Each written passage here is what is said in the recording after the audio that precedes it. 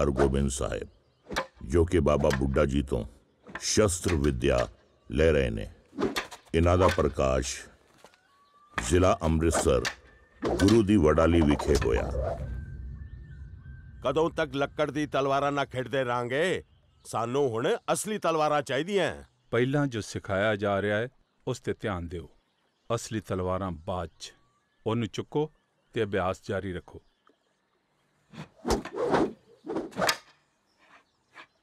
ਬਾਲ ਹਰਗੋਬਿੰਦ ਸਾਹਿਬ ਜੀ ਦੇ ਬਚਪਨ ਵਿੱਚ ਗੁਰੂ ਕਰਦੇ ਦੋਖੀਆਂ ਵੱਲੋਂ ਉਹਨਾਂ ਨੂੰ ਖਤਮ ਕਰਨ ਦੀਆਂ ਕਈ ਨਾਕਾਮ ਕੋਸ਼ਿਸ਼ਾਂ ਕੀਤੀਆਂ ਗਈਆਂ। ਲਾਹੌਰ ਦੀ ਸੇਵਾ ਤੋਂ ਉਪਰੰਤ ਪੰਚਮ ਪਾਤਸ਼ਾਹ ਜੀ ਪਰਿਵਾਰ ਸਮੇਤ ਅੰਮ੍ਰਿਤਸਰ ਸਾਹਿਬ ਵਿੱਚ ਆ ਗਏ। ਮਹਾਮਾਰੀ ਦਾ ਖਤਰਾ ਤਾਂ ਟਲ ਗਿਆ ਸੀ। ਪਰ ਗੁਰੂ ਦੋਖੀਆਂ ਵੱਲੋਂ ਮਹਾਜੰਗ ਨਿਰੰਤਰ ਜਾਰੀ ਸੀ।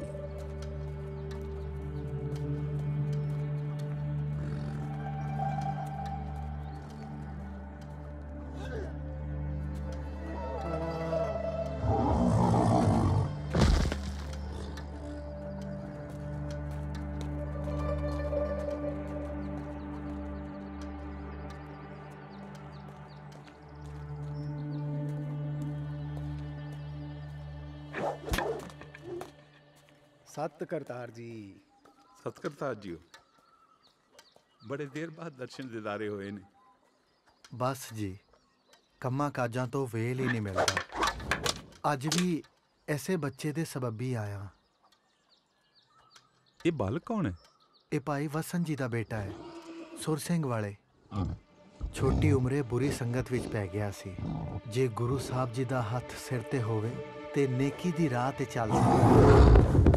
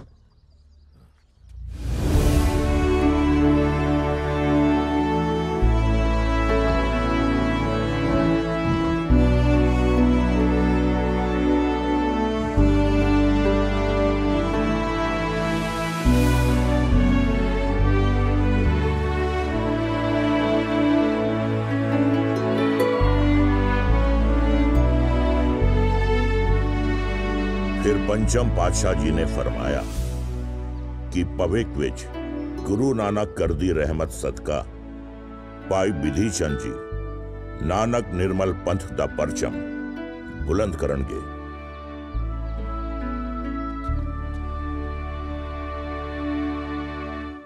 ਸ਼੍ਰੀ ਰਾਮਸਰ ਸਾਹਿਬ ਦੇ ਪਵਿੱਤਰ ਸਥਾਨ ਤੇ 1604 ਈਸਵੀ ਵਿੱਚ ਸ਼੍ਰੀ ਗੁਰੂ ਅਰਜਨ ਦੇਵ ਜੀ ਨੇ ਸ਼੍ਰੀ ਆਦ ਬੀੜ ਦਾ ਸੰਕਲਨ ਤੇ ਸੰਪਾਦਨ ਕਰਕੇ ਸੰਪੂਰਨ ਕੀਤਾ ਗੁਰੂ ਕਰ ਦੇ ਅਨੰਦ ਸੇਵਕ ਬਾਬਾ ਬੁੱਢਾ ਜੀ ਨੂੰ ਸ਼੍ਰੀ ਆਦ ਗ੍ਰੰਥ ਦੇ ਪਹਿਲੇ ਗ੍ਰੰਥੀ ਵਜੋਂ ਸੇਵਾ ਨਿਭਾਉਣ ਦਾ ਸੌਭਾਗ ਪ੍ਰਾਪਤ ਹੋਇਆ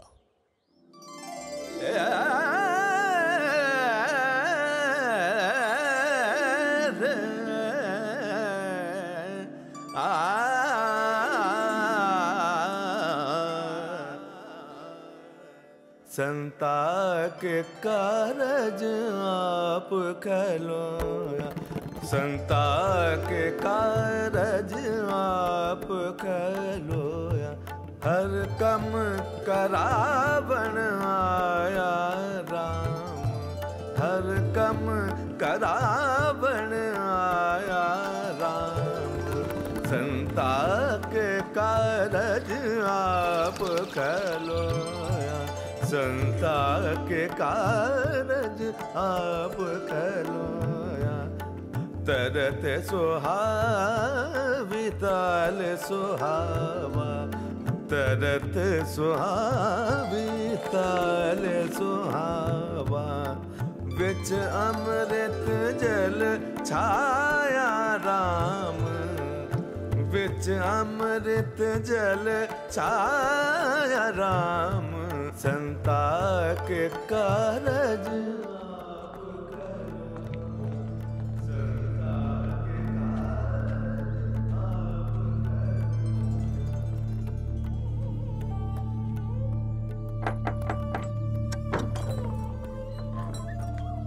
ਹਜ਼ੂਰ ਪ੍ਰਕਾਸ਼ ਕਰ ਦਿੱਤਾ ਹਰ ਮੰਦਰ 'ਚ ਹਰ ਮਜ਼ਹਬ ਦੇ ਲੋਕ ਉੱਥੇ ਮੱਥਾ ਟੇਕਣ ਜਾ ਰਹੇ ਨੇ ਤੁਸੀਂ ਨਹੀਂ ਗਏ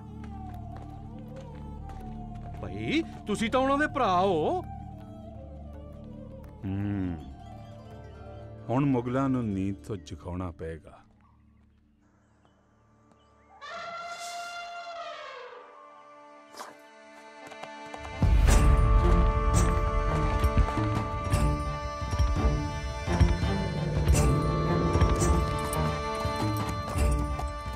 ਆਲਮਪਨਾ। ਉੱਠੇ ਹੋਏ ਸਿਰ ਜੇ ਅੱਜ ਹੀ ਕਲਮ ਨਾ ਕੀਤੇ ਗਏ ਤਾਂ ਬਗਾਵਤ ਕੱਲ ਨੂੰ ਦੁਬਾਰਾ ਵੀ ਹੋ ਸਕਦੀ ਹੈ। ਖੁਸਰੋ ਦੀ ਬਗਾਵਤ ਚ ਅਰਜਨ ਦੇਵ ਦਾ ਹੀ ਹੱਥ ਸੀ। ਸਾਨੂੰ ਜਲਦ ਤੋਂ ਜਲਦ ਉਹਨਾਂ ਦੇ ਖਿਲਾਫ ਕੋਈ ਸਖਤ ਕਦਮ ਚੁੱਕਣੇ ਪੈਣਗੇ। ਆਸ਼ੀਰਵਾਦ ਤੇ ਬਦਦੁਆਵਾਂ ਦੇ ਨਾਲ ਤਖਤ ਨੇ ਹਿੱਲਿਆ ਕਰਦੇ ਜੰਗ ਜਿੱਤਣ ਦੇ ਲਈ ਜੰਗਜੂ ਤਾਕਤ ਦੀ ਜ਼ਰੂਰਤ ਹੁੰਦੀ ਹੈ ਜੰਗਜੂ ਤਾਕਤ ਦੀ। ਇਹ ਪੀਰਾ ਫਕੀਰਾਂ ਦੀ ਖੇਡ ਨਹੀਂ ਹੈ ਹੱਕ ਹਜ਼ੂਰੇ ਆਲਾ ਚੰਦੂ ਸ਼ਾਹ ਤੇ ਪ੍ਰੀਤੀ ਚੰਦ ਆਏ ਨੇ ਜਹਾਂਗੀਰ ਨੇ ਤਖਤ ਤੇ ਆਪਣੀ ਪਕੜ ਮਜ਼ਬੂਤ ਕਰ ਲਈ ਹੈ ਸਿਆਸੀ ਮਾਹੌਲ ਹੁਣ ਬਦਲਣ ਵਾਲਾ ਹੈ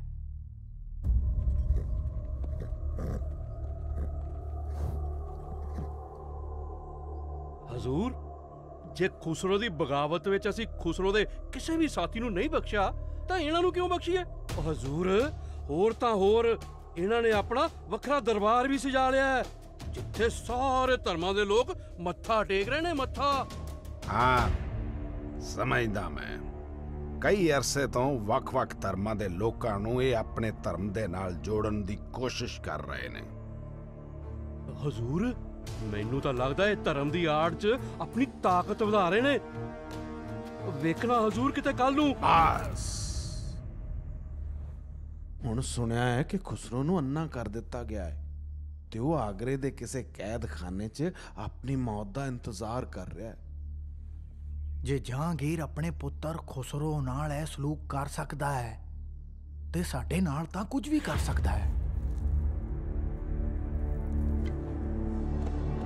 ਇਸ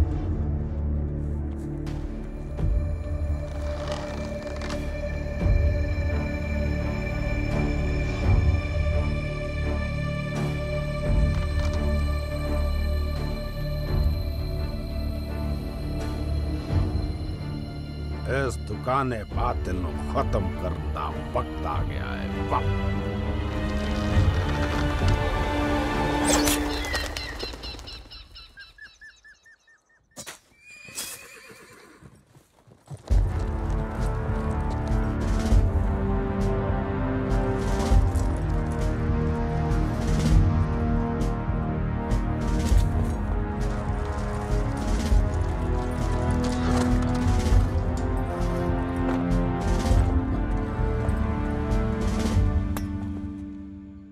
ਆਲਮਪਨਾ ਬਾਦਸ਼ਾਹ ਹਿੰਦ ਜਹਾਂਗੀਰ ਨੇ ਅਰਜਨ ਦੇਵ ਨੂੰ ਲਾਹੌਰ ਕਿਲੇ ਪੇਸ਼ ਹੋਣ ਦਾ ਹੁਕਮ ਦਿੱਤਾ ਹੈ।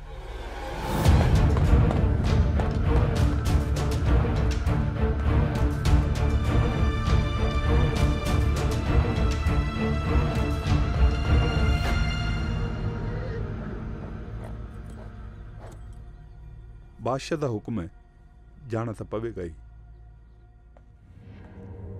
ਮੁਗਲ ਬਾਦਸ਼ਾਹ ਦਾ ਹੁਕਮ ਆਉਂਦਿਆਂ ਹੀ ਗੁਰੂ ਜੀ ਨੂੰ ਅੰਦੇਸ਼ਾ ਹੋ ਗਿਆ ਸੀ ਕਿ ਲਾਹੌਰ ਜਾ ਕੇ ਵਾਪਸੀ ਦੀ ਉਮੀਦ ਨਹੀਂ ਹੈ।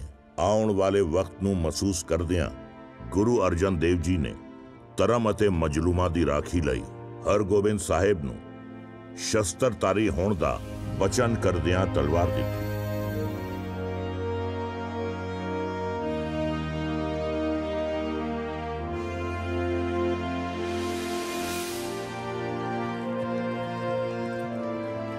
ਗੁਰੂ ਅਰਜਨ ਦੇਵ ਜੀ ਦੇ ਨਾਲ ਕੁਝ ਸਿੱਖ ਸ਼ਰਧਾਲੂ ਵੀ ਲਾਹੌਰ ਲਈ ਰਵਾਨਾ ਹੋ ਗਏ।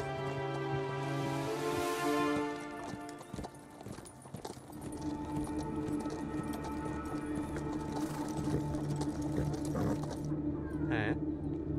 ਆ ਤਾਂ ਉਹੀ ਸੰਤ ਆ, ਜਿਨ੍ਹਾਂ ਨੇ ਲਾਹੌਰ ਨੂੰ ਹੈਜਾ ਮੁਕਤ ਕੀਤਾ ਸੀ। ਭਾਈਜਾਨ, ਇਹ ਤਾਂ ਬਿਮਾਰ ਲੋਕਾਂ ਨੂੰ ਰੋਟੀ ਵੀ ਖਵਾਉਂਦੇ ਸੀ। ਤੇ ਇਹਨਾਂ ਦੀ ਵਜ੍ਹਾ ਕਰਕੇ ਮੈਂ ਅੱਜ ਜੀਂਦਾ ਹਾਂ। ਪਰ ਇਹਨਾਂ ਨੂੰ ਫੜ ਕੇ ਕਿਉਂ ਲਿਜਾ ਰਹੇ?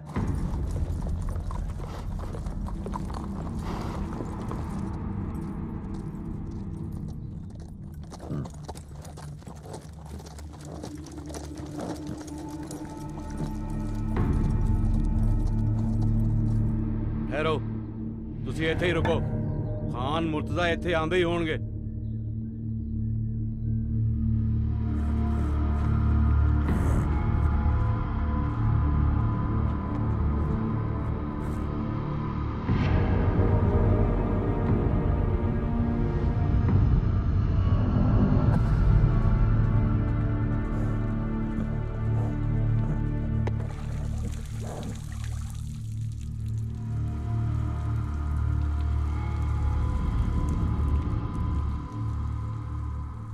ਭਾਈਜਾਨ ਮੁਸਾਫਰਾਂ ਦੇ ਲਈ ਕੁਝ ਦਾਣੇ ਪਾਣੀ ਦਾ ਬੰਦੋਬਸਤ ਹੋ ਸਕਦਾ ਹੈ?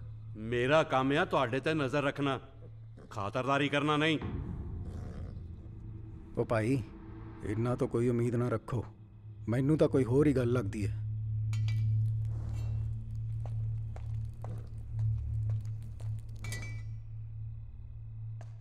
ਖੁਸ਼ਾਮਦੀਦ ਖੁਸ਼ਾਮਦੀਦ। ਅਬ ਤੁਹਾਨੂੰ ਇੱਥੇ ਜਾਨਵਰਾਂ ਦੇ ਕੋਲ ਕਿੰਨੇ ਬਿਠਾਇਆ ਹੈ? ਅਸੀਂ ਜਾਣਦੇ ਹਾਂ ਕਿ ਅਜਿਹਾ ਸਲੂਕ ਕਿਹਦੇ ਕਹਿਣ ਤੇ ਹੋ ਰਿਹਾ। ਹੈ। ਬਸ ਇਹ ਜਾਣਨਾ ਚਾਹੁੰਦੇ ਹਾਂ ਕਿ ਕਿਉਂ ਹੋ ਰਿਹਾ। ਹੈ। ਵੇਖੋ ਗੱਲ ਇੱਕਦਮ ਸਿੱਧੀ ਹੈ। ਖੁਸਰੋ ਨੂੰ ਤੇ ਤੁਸੀਂ ਜਾਣਦੇ ਹੀ ਹੋ। ਬਾਦਸ਼ਾਹ ਦੇ ਖਿਲਾਫ ਸ਼ਮਸ਼ੀਰ ਉਠਾਈ ਸੀ ਉਹਨੇ।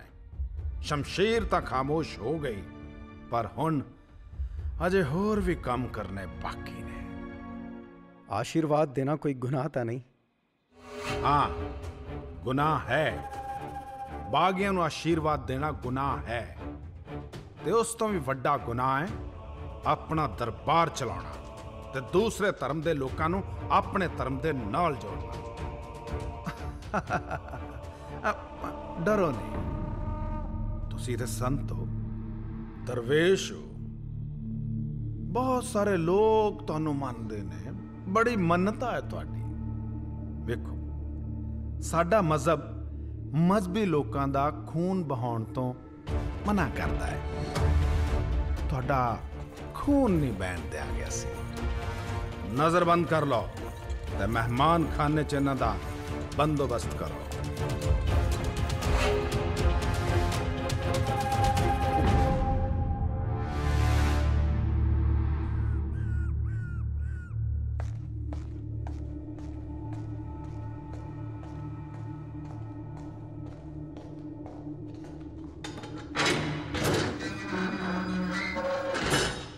ਜੇ ਤੁਸੀਂ ਕਹਿੰਦੇ ਹੋ ਕਿ ਪਰਮਾਤਮਾ ਇੱਕ ਹੈ ਤਾਂ ਫਿਰ ਇਸਲਾਮ ਦਾ ਪ੍ਰਚਾਰ ਕਿਉਂ ਨਹੀਂ ਕਰਦੇ?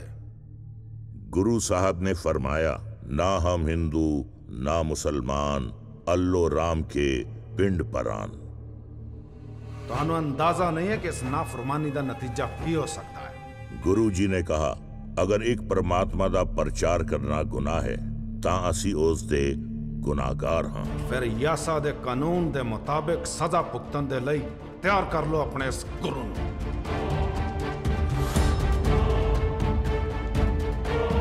ਹਜ਼ੂਰ ਸਾਈਂ ਮੀਆਂ ਮੀਰ ਜੀ ਆਏ ਨੇ। ਮੀਆਂ ਮੀਰ ਜੀ ਆਉਣ ਦਿਓ।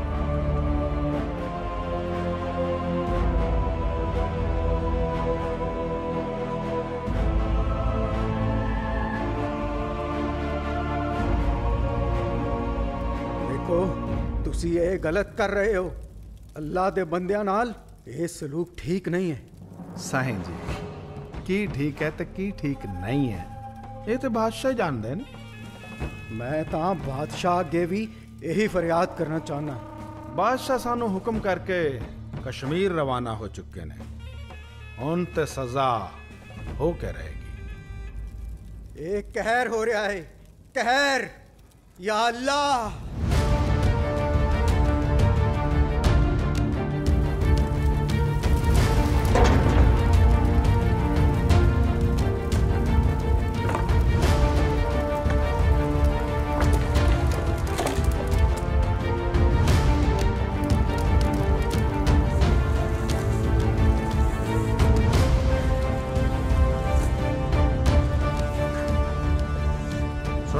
ਤਿਆਰ ਹੈ?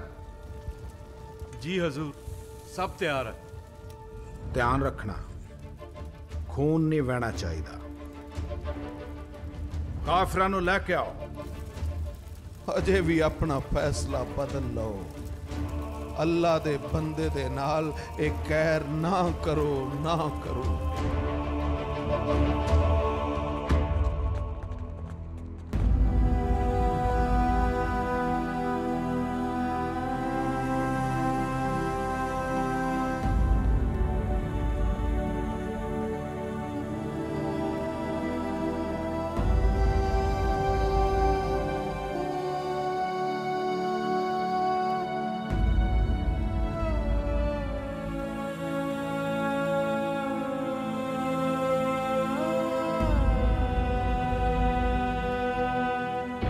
ਚੰਗੇਜ਼ ਖਾਨ ਦੇ ਦਰਬਾਰ 'ਚ ਤਿੰਨ ਸਜ਼ਾਵਾਂ ਹੁੰਦੀਆਂ ਸੀ। ਤਪਤ ਲੋ, ਤਪਤ ਬਾਲੂ, ਤਪਤ ਨੀਰ ਅਬ ਜੇ ਮਨ ਡਰ ਰਿਹਾ ਹੈ ਤੇ ਅਜੇ ਵੀ ਵੇਲਾ ਹੈ, ਅਬ ਫੈਸਲਾ ਬਦਲ ਲਓ। ਆਖਰੀ ਮੌਕਾ ਹੈ। ਬਸ ਇੱਕ ਕਦਮ ਪਿੱਛੇ ਲੈਣਾ ਹੈ?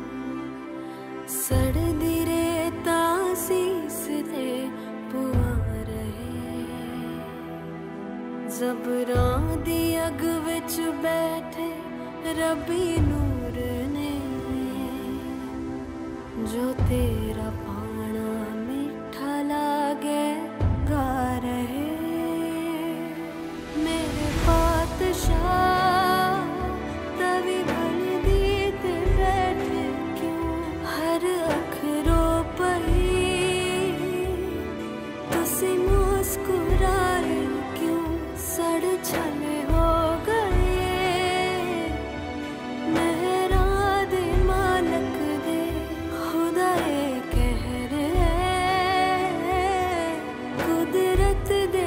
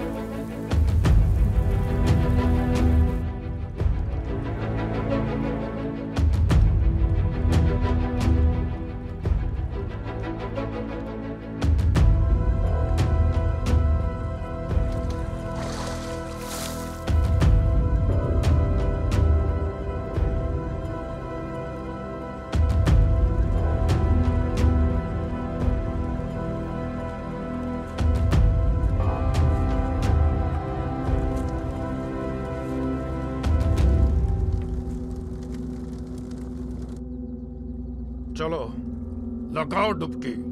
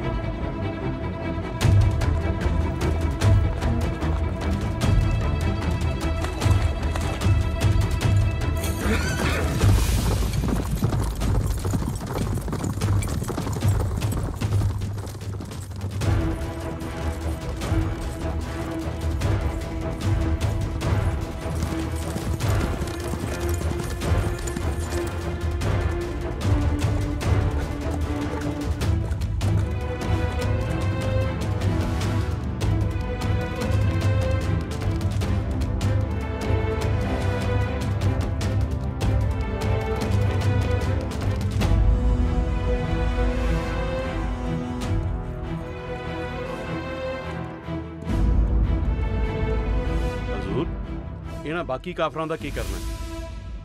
ਵਾਪਸ ਜਾਣ ਦਿਓ ਇਹਨਾਂ ਨੂੰ ਇਹੀ ਤੇ ਜਾ ਕੇ ਆਪਣੇ ਸਾਥੀਆਂ ਨੂੰ ਸੁਣਾਉਣਗੇ ਖੌਫ ਦੀ ਦਾਸਤ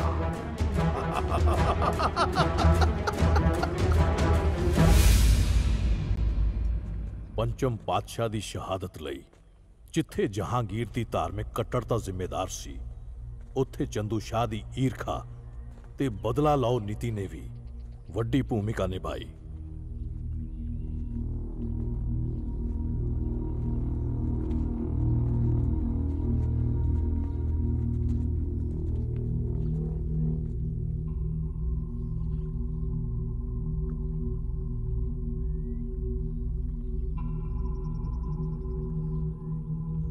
ਹੁਣ ਵਕਤ ਆ ਗਿਆ ਹੈ ਕਿ ਧਰਮੀ ਲੋਕਾਂ ਨੂੰ ਆਪਣਾ ਧਰਮ ਬਚਾਉਣ ਦੇ ਲਈ ਪੀਰੀ ਦੇ ਨਾਲ ਮੀਰੀ ਦੀ ਸ਼ਕਤੀ ਵੀ ਧਾਰਨ ਕਰਨੀ ਹੋਏਗੀ।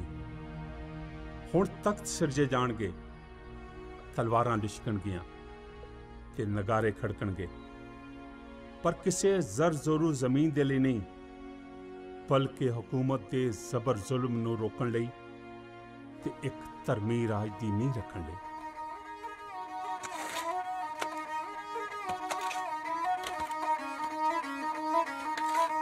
ਦੋ ਤਲਵਾਰਾਂ, ਬੱਧੀਆਂ, ਇੱਕ ਮੀਰ ਦੀ, ਇੱਕ ਪੀਰ ਦੀ। ਦੋ ਤਲਵਾਰਾਂ, ਬੱਧੀਆਂ।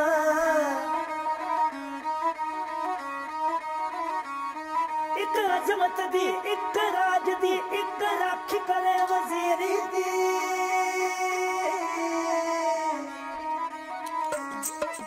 ਦੋ ਤਲਵਾਰਾਂ ਬੱਧੀਆਂ ਇੱਕ ਮੀਰ ਦੀ ਇੱਕ ਪੀਰ ਦੀ ਦੋ ਤਲਵਾਰਾਂ ਬੱਧੀਆਂ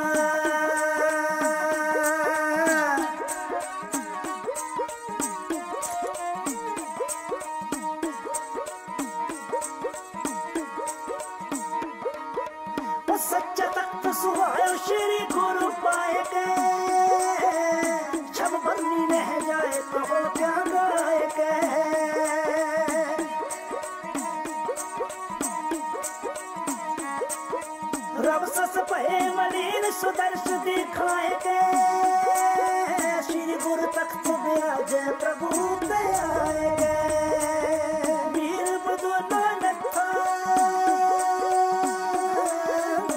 ਜਸ ਕਹੋ ਬਣਾਏ ਗੁਰੂ ਜੀ ਨੇ ਐਲਾਨ ਕੀਤਾ ਅੱਜ ਤੋਂ ਸ਼ਸਤਰ ਕੋੜੇ ਤੇ ਜੋਸ਼ ਨਾਲ ਭਰੇ ਨੌਜਵਾਨ ਹੀ ਮੇਰੇ ਲਈ ਪਿਆਰੀ ਪੇਟਾਂ ਹੋਣਗੇ ਮੇਰੀਆਂ ਖੁਸ਼ੀਆਂ ਪ੍ਰਾਪਤ ਕਰਨ ਲਈ ਸ਼ਿਕਾਰ ਕਰੋ ਘੋੜ ਸਵਾਰੀ ਕਰੋ ਤੇ ਵੀਰ ਰਸ ਦੀਆਂ ਕਵਿਤਾਵਾਂ ਸੁਣੋ ਤਾਂ ਕਿ ਮੁਰਦਿਆਂ 'ਚ ਜਾਨ ਪੈ ਜਾਏ।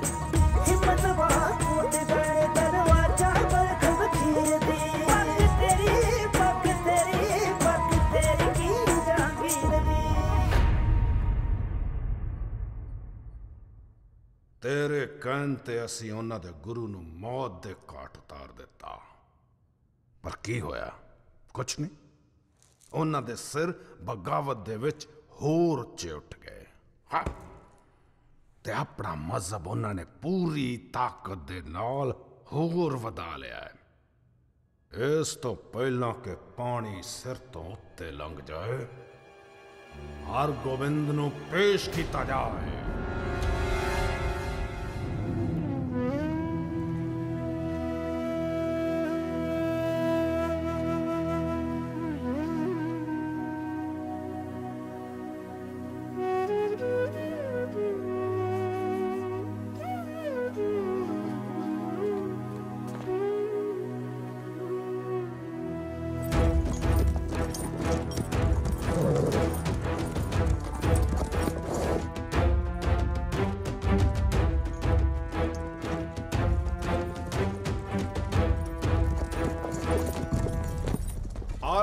ਬਾਦਸ਼ਾਹ ਹਿੰਦੁਸਤਾਨ ਜਹਾਂਗੀਰ ਨੇ ਹਰਗੋਬਿੰਦ ਜੀ ਨੂੰ ਆਗਰੇ 'ਚ ਪੇਸ਼ ਹੋਣ ਦਾ ਹੁਕਮ ਦਿੱਤਾ ਹੈ।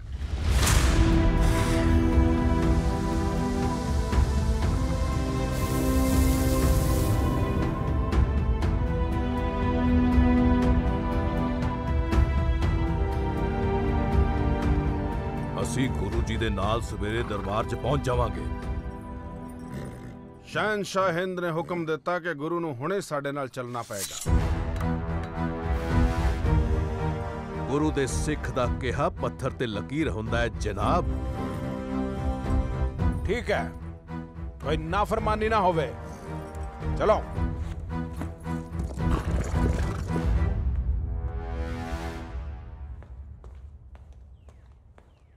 ਜਨਾਬ ਇਹ ਸਾਰੇ ਦੇ ਸਾਰੇ ਰਸਦ ਦਾ ਜਿਹੜਾ ਜਨਾਬ ਹਰਗੋਬਿੰਦ ਆਏ ਨੇ।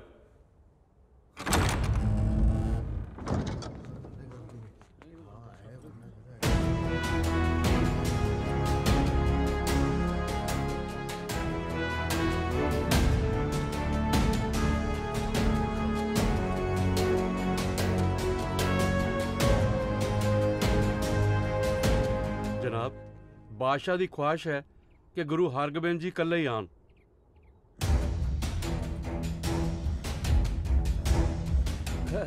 ਬਾਦਸ਼ਾਹ ਦੀ ਇਲਤਜਾ ਸੀ ਕਿ ਕੁਝ ਗੁਫ਼ਤਗੂ ਹੀ ਤਾਂ ਕਰਨੀ ਹੈ। ਕਿਉਂ ਨਾ ਦੋ ਬਾਦਸ਼ਾਹ ਆਪਸ ਵਿੱਚ ਹੀ ਕਰ ਲੈਣ।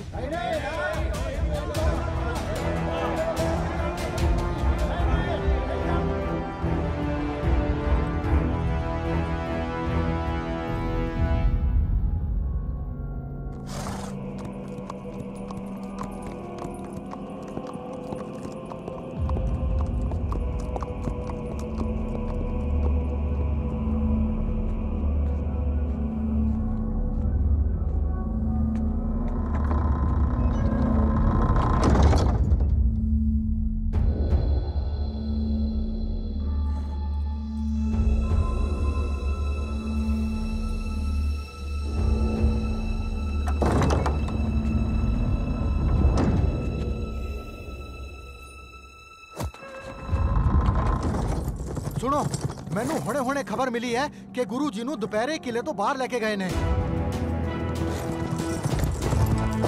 ਖੋਲੋ ਤੁਸੀਂ ਗਏ ਨਹੀਂ ਅਜੇ? ਸਾਡੇ ਬਾਦਸ਼ਾਹ ਗੁਰੂ ਦੇ ਨਾਲ ਕਾਫੀ ਨਰਮੀ ਨਾਲ ਪੇਸ਼ ਆਏ। ਬਸ ਉਹਨਾਂ ਦੇ ਕੁਝ ਗੁਨਾਹਾਂ ਕਰਕੇ 2 ਲੱਖ ਸੋਨੇ ਦੀਆਂ ਮੋਹਰਾਂ ਜੁਰਮਾਨਾ ਲਾਇਆ। ਗੁਰੂ ਨੇ ਮਨਾ ਕਰਤਾ ਤੇ ਬਾਦਸ਼ਾਹ ਨੇ ਗਵਾਲੀਅਰ ਦੇ ਕਿਲੇ ਵਿੱਚ ਕੈਦ ਕਰਨ ਦਾ ਹੁਕਮ ਸੁਣਾ ਦਿੱਤਾ।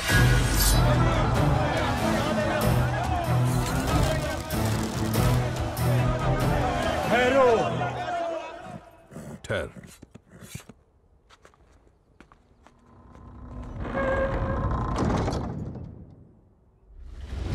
ਗੁਰੂ ਸਾਹਿਬ ਨੂੰ ਅਸੀਂ ਕੈਦ ਵਿੱਚ ਨਹੀਂ ਰਹਿਣ ਦਿਆਂਗੇ।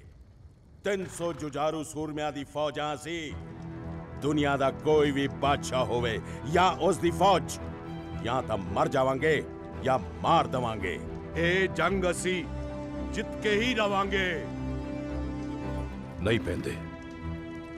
ਸਾਨੂੰ ਜੋਸ਼ ਦੇ ਨਾਲ ਹੋਸ਼ ਤੋਂ ਵੀ ਕੰਮ ਲੈਣਾ ਹੋਏਗਾ।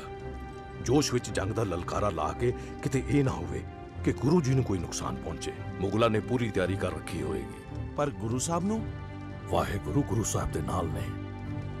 ਮੈਨੂੰ ਬਸ 4-5 ਸਾਥੀਆਂ ਦੀ ਲੋੜ ਹੈ। ਮੈਂ ਕਿਸੇ ਨਾ ਕਿਸੇ ਤਰੀਕੇ ਗੁਰੂ ਜੀ ਨੂੰ ਨਾਲ ਲੈ ਕੇ ਆਵਾਂਗਾ। ਪੈਂਦੇ, ਹੁਣ ਜੰਗ ਦੀ ਤਿਆਰੀ ਕਰਨੀ ਹੋਏਗੀ ਤੇ ਜੰਗ 'ਚ ਤੇਰੀ ਸਭ ਤੋਂ ਜ਼ਿਆਦਾ ਲੋੜ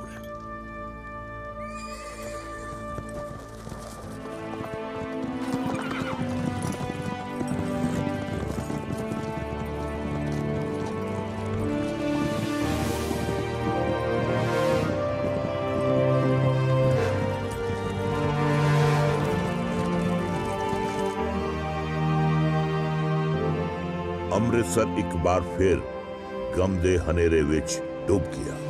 ਗੁਰੂ ਜੀ ਨਾਲ ਪਿਆਰ ਕਰਨ ਵਾਲਾ ਹਰ ਇੱਕ ਇਨਸਾਨ ਦੁੱਖ ਤੇ ਨਿਰਾਸ਼ਾ ਦੀ ਜ਼ਿੰਦਗੀ ਬਿਤਾ ਰਿਹਾ ਸੀ। ਬੱਚਿਆਂ ਨੇ ਖੇਡਣਾ ਤੇ ਹੱਸਣਾ ਛੱਡ ਦਿੱਤਾ।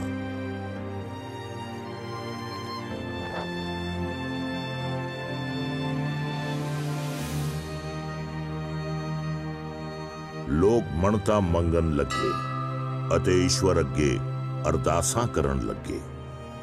ਲੋਕਾਂ ਨੇ ਭਜਨ ਕੀਰਤਨ ਨਾਲ ਆਪਣਾ ਦੁੱਖ ਜ਼ਾਹਿਰ ਕੀਤਾ। ਕੁਝ ਲੋਕ ਵਿਰੋਧ ਵਿੱਚ ਅਗ ਬਬੂਲਾ ਤੇ ਕੁਝ ਲੋਕ ਪ੍ਰਤੀਰੋਧ ਦੀ ਅਗ ਵਿੱਚ ਝੁਲਸ ਰਹੇ ਸੀ। ਗੁਰੂ ਤੇ ਬਾਬਾ ਬਿਧੀ ਚੰਦ ਜੀ ਦੀ ਕੋਈ ਖਬਰ ਨਹੀਂ ਸੀ। ਤੇ ਲੋਕਾਂ ਦੇ ਨਾਲ ਨਾਲ ਪੈਂਦੇ ਖਾਨ ਦੇ ਸਬਰ ਦਾ ਬਣ ਵੀ ਟੁੱਟ ਰਿਹਾ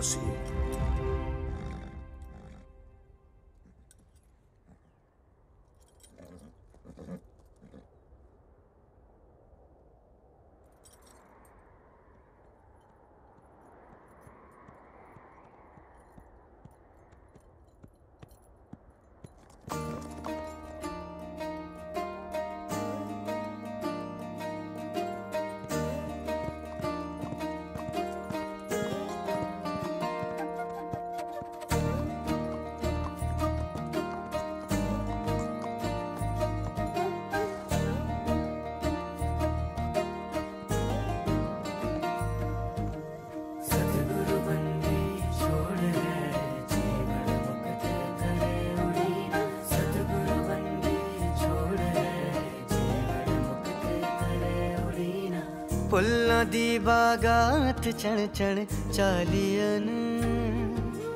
ਤੀਰਥ ਜਾਤੀ ਜਾਤ ਨੈਣ ਨਿਹਾਲੀਅਨ। ਦੀਵਾਲੀ ਦੀ ਰਾਤ ਦੀਵੇ ਵਾਲੀਅਨ ਤਾਰੇ ਜਾਤ ਸਨਾਤ ਅੰਬਰ ਵਾਲੀਅਨ। ਦੀਵਾਲੀ ਦੀ ਰਾਤ ਦੀਵੇ ਵਾਲੀਅਨ ਤਾਰੇ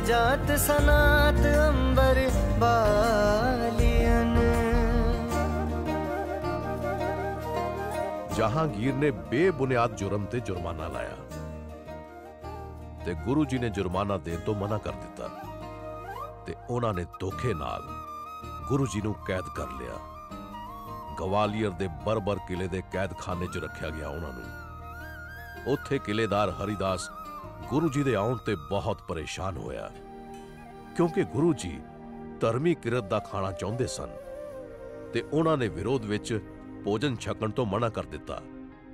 ਤੇ ਜਦੋਂ ਅਸੀਂ ਉੱਥੇ ਪਹੁੰਚੇ, ਤੇ ਗੁਰੂ ਜੀ ਨੂੰ ਵੇਖ ਕੇ ਸਾਡੀ ਖੁਸ਼ੀ ਦਾ ਟਿਕਾਣਾ ਨਾ ਰਿਹਾ। ਕੈਦ ਵਿੱਚ ਗੁਰੂ ਜੀ ਦੀ ਤਾਕਤ ਦਿਨੋ ਦਿਨ ਵੱਧ ਰਹੀ ਸੀ ਤੇ ਬਾਦਸ਼ਾਹ ਜਹਾਂਗੀਰ ਦੀ ਤਬੀਅਤ ਉਨੀ ਹੀ ਖਰਾਬ ਹੋ ਰਹੀ ਸੀ। ਸਾਈਂ ਮੀਆਂ ਮੀਰ ਤੇ ਨੂਰ ਜਹਾਂ ਦੇ ਕਹਿਣ ਤੇ ਬਾਦਸ਼ਾਹ ਨੇ ਗੁਰੂ ਸਾਹਿਬ ਨੂੰ ਰਿਹਾ ਕਰਨ ਦਾ ਹੁਕਮ ਦੇ ਦਿੱਤਾ। ਪਰ ਗੁਰੂ ਸਾਹਿਬ ਦੀਆਂ ਇੱਛਾਵਾਂ ਕਦੇ ਵੀ ਆਪਣੇ ਤੱਕ ਸੀਮਤ ਨਹੀਂ ਸਨ।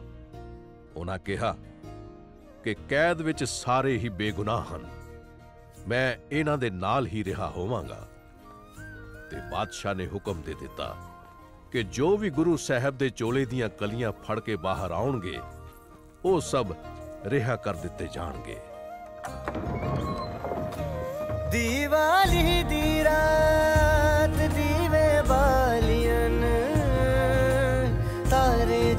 ਸਨਾਤ ਅੰਬਰ ਪਾਲੀਅਨ ਦੀਵਾਲੀ ਦੀ ਰਾਤ ਦੀਵੇ ਬਾਲੀਅਨ ਤਾਰੇ ਜਾਤ ਸਨਾਤ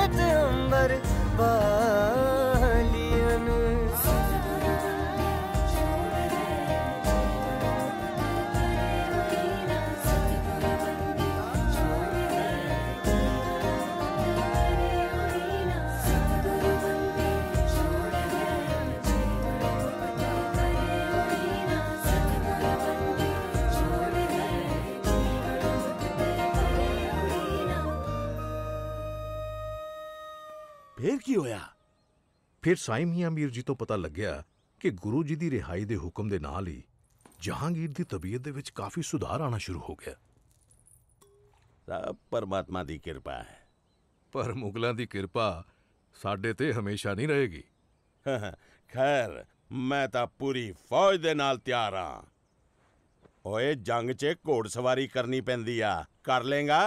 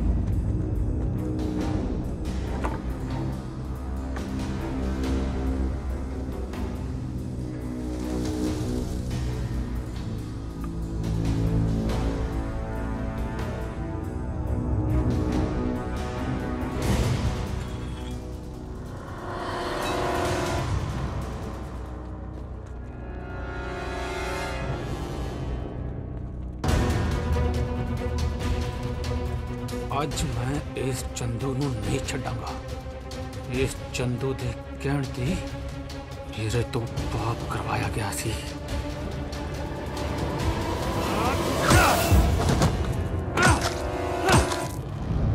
ਬਾਜ਼ ਦੀ ਅੱਖ ਇੱਕ ਸ਼ਿਕਾਰੀ ਦੀ ਅੱਖ ਹੁੰਦੀ ਆ ਹਰ ਸ਼ਿਕਾਰੀ ਇਹਨੂੰ ਫੜਨਾ ਚਾਹੁੰਦਾ ਹੈ ਤਾਂ ਕਿ ਇਹ ਸ਼ਿਕਾਰ ਫੜਨ ਵਿੱਚ ਮਦਦ ਕਰੇ ਪਰ ਬਾਜ ਫੜਨਾ ਕੋਈ ਸੌਖਾ ਕੰਮ ਨਹੀਂ ਹੈ ਤੇ ਜੰਗਲੀ ਬਾਜ਼ ਨੂੰ ਪਾਲਤੂ ਕਰਨਾ ਉਸ ਤੋਂ ਵੀ ਮੁਸ਼ਕਿਲ ਕੰਮ ਹੈ।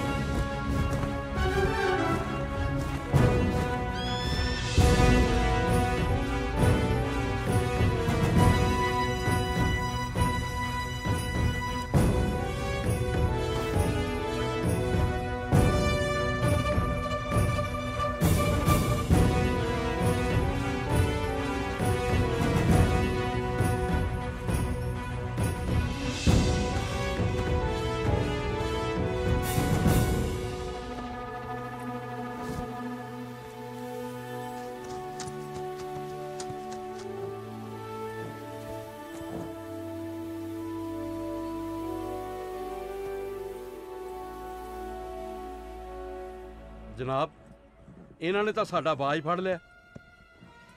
ਅੱਜ ਇਹਨਾਂ ਨੇ ਬਾਜ ਨੂੰ ਹੱਥ ਪਾਇਆ ਤੇ ਕੱਲ ਤਾਜ ਨੂੰ ਪਾਣਗੇ। ਹਰਗੋਬਿੰਦ ਨੂੰ ਰਿਹਾ ਕਰਕੇ ਬਾਦਸ਼ਾਹ ਨੇ ਬਹੁਤ ਵੱਡੀ ਗਲਤੀ ਕੀਤੀ ਆ। ਇਹਨਾਂ ਨੇ ਆਪਣੀ ਫੌਜ ਬਣਾ ਲਈ ਆ, ਆਪਣੇ ਬਾਜ਼ ਰੱਖੇ ਆ। ਹੁਣ ਇਹ ਜ਼ਰੂਰਤ ਹੋ ਗਈ ਇਹਨਾਂ ਦੀ ਕਿ ਮੁਗਲ ਸਲਤਨਤ ਦਾ ਸ਼ਾਹੀ ਬਾਜ਼ ਫੜ ਲਿਆ। ਇਸ ਗੁਸਤਾਖੀ ਦਾ ਹਰਸਾਨਾ ਤਾਂ ਉਹਨਾਂ ਨੂੰ ਭਰਨਾ ਹੀ ਪਏਗਾ। ਹੁਣ ਬਾਦਸ਼ਾਹ ਹਿੰਦ ਸ਼ਾਹਜਹਾਂ ਖੁਦ ਤੈਅ ਕਰਨਗੇ ਇਹਨਾਂ ਦਾ ਅੰਜਾਮ।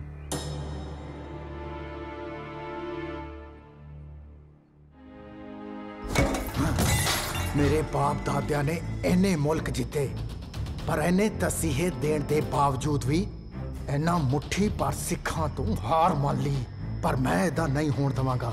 ਮੈਂ ਇਹਨਾਂ ਨੂੰ ਜੜੋਂ ਉਖਾੜ ਦਵਾਂਗਾ, ਇਹਨਾਂ ਦਾ ਵਜੂਦ ਮਿਟਾ ਦਵਾਂਗਾ।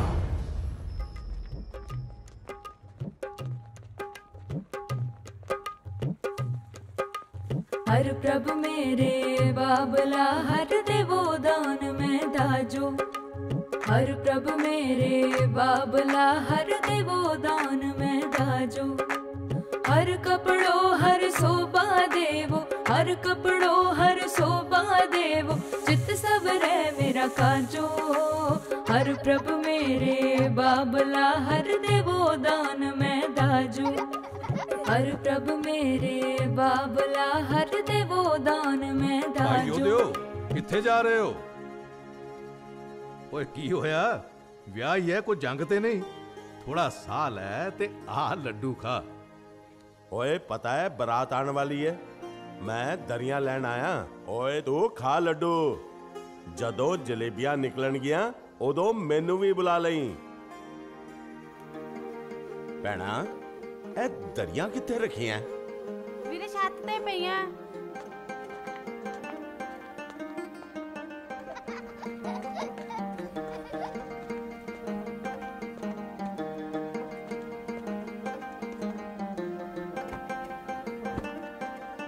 ਐਨੀਆਂ ਚਾਦਰਾਂ? ਸਾਨੂੰ ਵੀ ਫੜਾ ਦਿਓ ਇੱਕ ਦੋ ਅਸੀਂ ਵੀ ਮਦਦ ਕਰ ਦਿੰਦੇ ਆ। ਆਹੋ ਤੁਹਾਨੂੰ ਵੀ ਚੁੱਕ ਲਾਂ ਹਾਂ।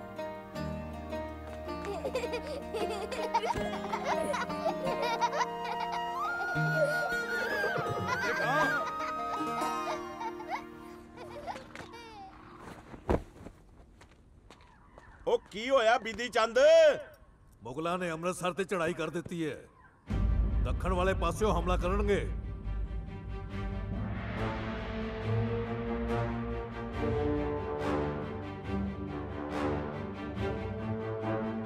ਲੱਗਦਾ ਹੈ ਬਿਨ ਬੁਲਾਏ ਮਹਿਮਾਨ ਆ ਗਏ ਆ।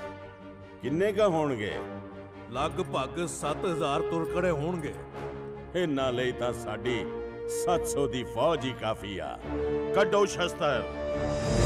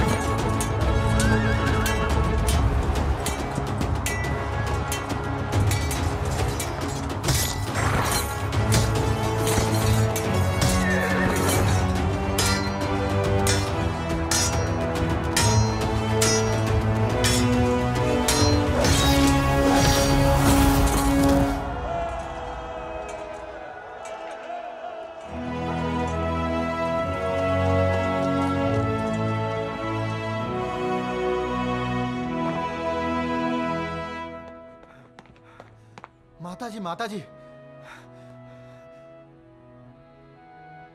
ਅਸੀਂ ਜੰਗ ਜਿੱਤ ਗਏ ਆ ਗੁਰੂ ਜੀ ਨੇ ਦੁਸ਼ਮਣਾਂ ਦੇ ਸਿਰ ਏਦਾਂ ਭੰਨੇ ਜਿੱਦਾਂ ਗੰਢੇ ਹੋਣ। ਤੇਰਾ ਪੁੱਤਰ ਦੁਸ਼ਮਣਾਂ ਦੇ ਸਿਰ ਇੰਜ ਹੀ ਪੰਨੇਗਾ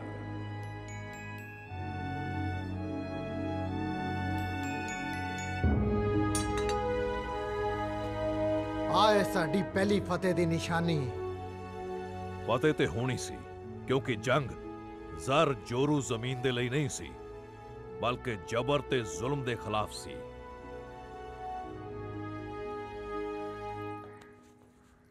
ਅੱਬਾ ਜਾਨ ਲਿਆਓ ਮੈਂ ਮਦਦ ਕਰ ਦਿੰਨੀ ਆ। ਤੂੰ ਇੱਥੇ ਕੀ ਕਰਦੀ ਆ? ਕਿਉਂ? ਆਪਣੇ ਅੱਬਾ ਜਾਨ ਦੇ ਘਰ ਆਣਾ ਮਨਾ ਮੈਨੂੰ? ਨਹੀਂ ਮੇਰਾ ਮਤਲਬ ਆ ਆਸਮਾ ਖਾਨ ਨੂੰ ਵੀ ਮਲਮ ਪੱਟੀ ਦੀ ਲੋੜ ਹੋਵੇਗੀ। ਤੂੰ ਉਹਨੂੰ ਛੱਡ ਕੇ ਇੱਥੇ ਕੀ ਕਰਦੀ ਆ? ਉਹਨਾਂ ਨੂੰ ਤਾਂ ਝਰੀਟ ਤੱਕ ਨਹੀਂ ਆਈ। ਆਰਾਮ ਨਾਲ ਆਪਣੇ ਕਮਰੇ 'ਚ ਖਾਣਾ ਖਾ ਰਹੇ ਨੇ। ਨਾਲੇ ਤੁਹਾਨੂੰ ਕਿਉਂ ਇੰਨਾ ਚਾਹ ਚੜਿਆ ਅੱਗੇ ਹੋ ਹੋ ਕੇ ਲੜਨ ਦਾ? ਜੇ ਮੈਂ ਨਾ ਲੜਿਆ ਤਾਂ ਪਤਾ ਹੈ ਆਪਣੇ ਕਿੰਨੇ ਸ਼ਹੀਦ ਹੋ ਜਾਣਗੇ। ਮੈਂ ਜਾਣਦੀ ਆ ਕਿ ਤੁਸੀਂ ਉਹਨਾਂ ਨੂੰ ਅੱਗੇ ਵੱਧ ਕੇ ਲੜਨ ਨਹੀਂ ਦਿੰਦੇ। ਨਾਲੇ ਉਹ ਕਹਿ ਰਹੇ ਸੀ ਕਿ ਤੁਹਾਨੂੰ ਪੱਛਮ ਜਾਣ ਦਾ ਹੁਕਮ ਹੋਇਆ। ਇਹ ਤਾਂ ਸਗੋਂ ਖੁਸ਼ੀ ਦੀ ਗੱਲ ਹੈ ਕਿ ਪੱਛਮ ਦੀਆਂ ਸਰਹੱਦਾਂ ਤੋਂ ਸਾਰੇ ਹਮਲੇ ਅਸੀਂ ਰੋਕਾਂਗੇ।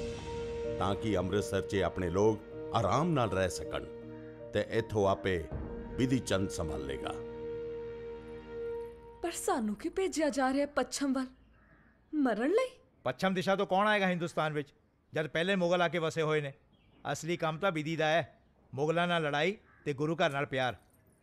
ਅੱਬਾ ਹਜ਼ੂਰ ਸਹੀ ਫਰਮਾ ਰਹੇ ਨੇ ਹੁਕਮ ਆਇਆ ਤਾਂ ਜਾਣਾ ਤਾਂ ਪਏਗਾ ਹੀ। ਇਹ ਉਹੀ ਗੁਰੂ ਘਰ ਹੈ ਜਿਨੇ ਮੈਨੂੰ ਸਭ ਕੁਝ ਦਿੱਤਾ ਹੈ। ਮੈਨੂੰ ਪਾਲਿਆ ਲੜਨਾ ਸਿਖਾਇਆ ਹੱਸਦਾ ਖੇਡਦਾ ਪਰਿਵਾਰ ਦਿੱਤਾ। ਤੇ ਭੇਜ ਦਿੱਤਾ ਪੱਛਮ ਚ ਲੜਨ ਦੇ ਲਈ। ਐ ਗਰਮੀ ਨਾ ਪੱਛਮੀ ਸਰਹੱਦਾਂ ਲਈ ਬਚਾ ਕੇ ਰੱਖ। ਉੱਥੇ ਵੈਸੇ ਹੀ ਬੜੀ ਠੰਡ ਆ। ਤੁਸੀਂ ਦੋਵੇਂ ਠੰਡੇ ਹੋ ਜਾਓ। ਜੰਗ ਕਰ ਕਰਕੇ ਦਿਮਾਗ ਗਰਮ ਹੋਏ ਪਏ ਆ। ਜੰਗ ਤੇ ਅਸੀਂ ਜਿੱਤ ਹੀ ਗਏ ਆ ਹੁਣ ਘਰ ਵਿੱਚ ਵਿਆਹ ਵੀ ਹੈ ਭੈਣ ਵੀਰੋ ਦਾ। ਤੇ ਹੋਰ ਵੀ ਬੜੇ ਕੰਮ ਨੇ। ਚਲੋ ਚਲਿਏ।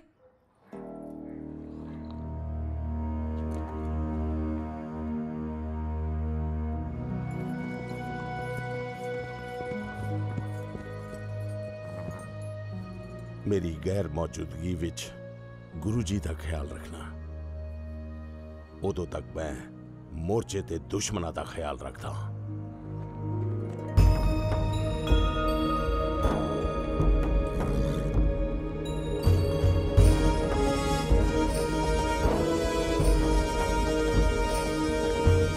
ਇਹੋ ਜਿਹੇ ਘੋੜੇ ਦੁਨੀਆ 'ਚ ਕਿਸੇ ਨੇ ਵੇਖੇ ਨਹੀਂ ਹੋਣਗੇ। ਖੂਬਸੂਰਤ ਜਾਨਵਰ ਲੰਮੇ ਲੰਮੇ ਰੇਸ਼ਮੀ ਵਾਲ ਚਮਕਦਾ ਬਦਨ, ਮਜ਼ਬੂਤ ਪੈਰ ਤੇ ਸੰਘਣੀ ਪੂਛ ਵਾਹ! ਵੇਖੋ ਤਾਂ ਐ ਲੱਗਦਾ ਜਿਵੇਂ ਇਹਨਾਂ ਘੋੜਿਆਂ ਨੂੰ ਉੱਪਰ ਵਾਲੇ ਨੇ ਫੁਰਸਤ ਬਣਾਇਆ ਹੋਵੇ। ਪਤਾ ਹੀ ਨਹੀਂ ਕਿਦਾਂ ਐਨ ਜੰਗਲ ਦੇ ਵਿੱਚ ਮੁਗਲਾਂ ਦੀਆਂ ਟੁਕੜੀਆਂ ਨੇ ਆ ਕੇ ਮੈਨੂੰ ਘੇਰ ਲਿਆ। ਮੈਂ ਉਹਨਾਂ ਨੂੰ ਕਿਹਾ, ਇਹ ਘੋੜੇ ਤੋਹਫੇ ਹੈ ਕਿਸੇ ਦੇ ਲਈ। ਇਹ ਘੋੜੇ ਸੱਚੇ ਪਾਤਸ਼ਾਹ ਗੁਰੂ ਹਰਗੋਬਿੰਦ ਜੀ ਲਈ ਨੇ। ਉਹਨਾਂ ਨੇ ਘੋੜਿਆਂ ਦੀ ਲਗਾਮ ਮੇਰੇ ਤੋਂ ਖੋਲੀ ਤੇ ਕਿਹਾ, ਤੂੰ ਜਾ ਇਹਨਾਂ ਘੋੜਿਆਂ ਨੂੰ ਸੱਚੇ ਪਾਤਸ਼ਾਹ ਤੱਕ ਅਸੀਂ ਆਪੇ ਪਹੁੰਚਾ ਦਿਆਂਗੇ। ਆਪਣੀ ਚੀਜ਼ ਜੇ ਮੁਗਲਾਂ ਕੋਲ ਪਹੁੰਚ ਗਈ ਹੈ ਤਾਂ ਉਸ ਨੂੰ ਵਾਪਸ ਲਿਆਉਣਾ ਜ਼ਰੂਰੀ ਹੈ। ਫਿਰ ਤੋਂ ਸਾਨੂੰ ਮੁਗਲਾਂ ਤੇ ਹਮਲਾ ਕਰਨਾ ਪਏਗਾ? ਇਹ ਖਤਰੇ ਤੋਂ ਖਾਲੀ ਨਹੀਂ ਹੈ। ਘੋੜਿਆਂ ਨੂੰ ਲਿਆਉਣ ਲਈ ਮੈਨੂੰ ਕਿਸੇ ਫੌਜ ਦੀ ਲੋੜ ਨਹੀਂ ਹੈ। ਬਸ ਗੁਰੂ ਸਾਹਿਬ ਦਾ ਆਸ਼ੀਰਵਾਦ ਹੀ ਕਾਫੀ ਹੈ।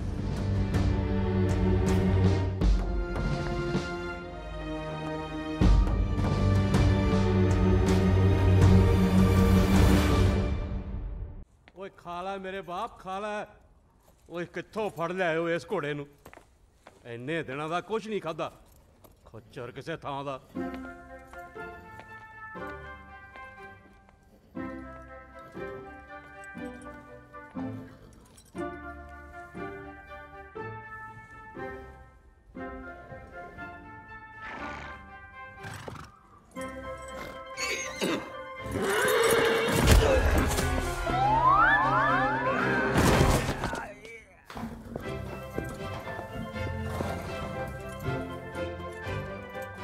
ਇੰਨਾ ਕਿਉਂ ਡਰਦਾ ਹੈ ਤੂੰ ਇਹਨਾਂ ਤੋਂ?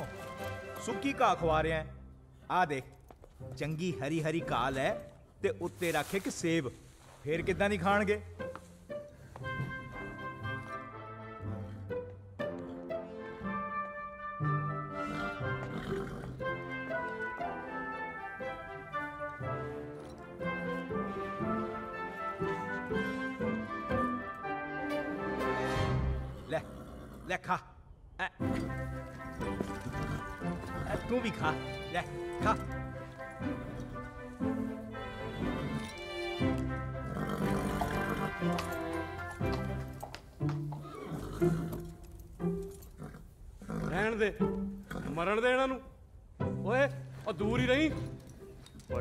ਦੀ ਦਲੱਤੀ ਮਾਰਦੇ ਆ।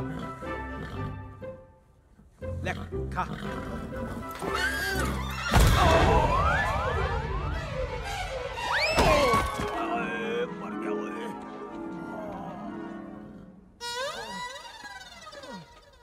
ਓਏ ਮੂਰਖ, ਓਏ ਬੇਵਕੂਫੋ।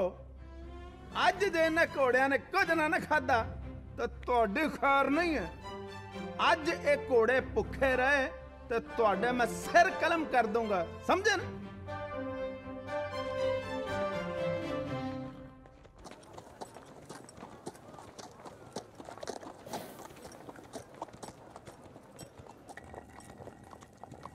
ਸਤਿਕਰਤਾਰ ਜੀ।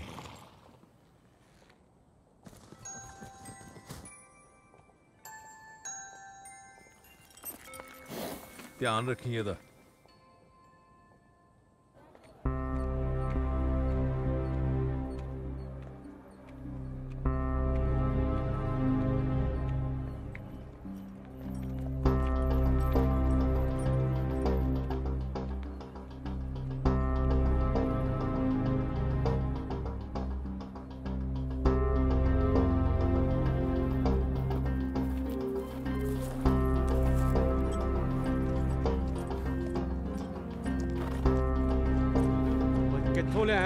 ਗਲਿਆ ਸੜਿਆ ਘਾਹ।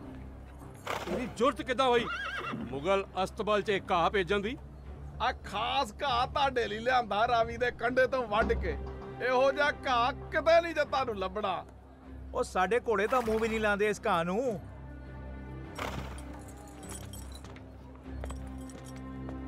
ਜੇ ਅੱਜ ਘੋੜਿਆਂ ਨੇ ਘਾਹ ਨਾ ਨਾ ਖਾਦਾ ਤਾਂ ਸਿਰ ਕਲਮ ਕਰਵਾ ਦੇਾਂਗੇ ਵਿੱਚ ਬਾਜ਼ਾਰ।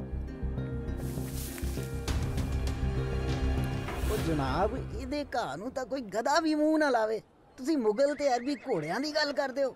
ਅਜੀ ਮੇਰੇ ਕੋਲੋਂ ਘਾਹ ਖਰੀਦੋ ਦਿਲ ਖੁਸ਼ ਹੋ ਜਾਏਗਾ। ਘੋੜਿਆਂ ਦਾ ਵੀ ਤੇ ਤੁਹਾਡਾ ਵੀ। ਜੇ ਇਹਨਾਂ ਤੇਰਾ ਘਾਹ ਨਹੀਂ ਖਾਦਾ ਨਾ ਤਾਂ ਤੇਰਾ ਸਿਰ ਵੀ ਇਹਨਾਂ ਦੇ ਨਾਲ ਹੀ ਕਲਮ ਕਰ ਦਿਆਂਗਾ। ਜਨਾਬ ਜੀ ਮੇਰੇ ਹੱਥੋਂ ਘੋੜੇ ਘਾਹ ਜ਼ਰੂਰ ਖਾਣਗੇ।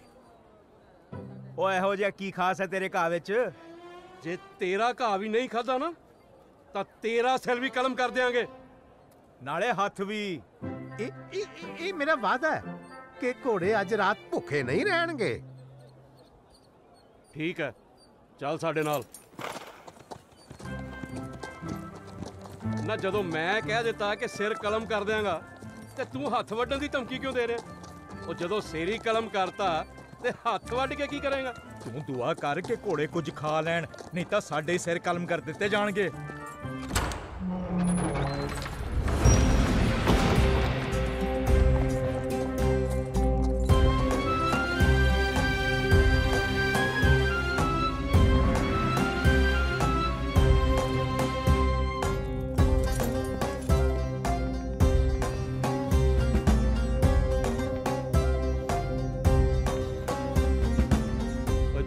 ਘੋੜੇ ਤੋਂ ਘਾਹ ਸੁੱਟ ਦੇ ਉਹਨਾਂ ਸਾਹਮਣੇ ਤੇ ਭੱਜਿਆ ਇੱਥੇ।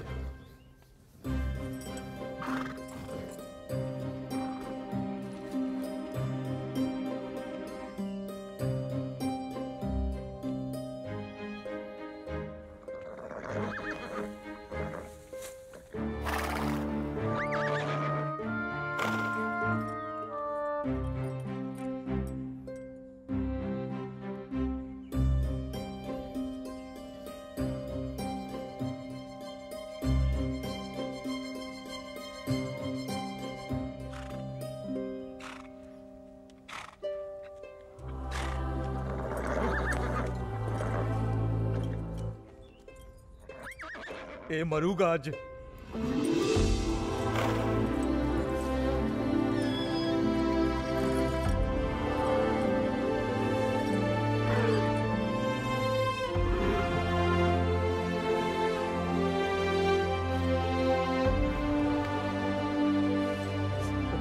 ਇਹ ਤਾਂ ਜਾਨਵਰਾਂ ਦੇ ਵਿਛੜੇ ਲੱਗਦੇ ਨੇ।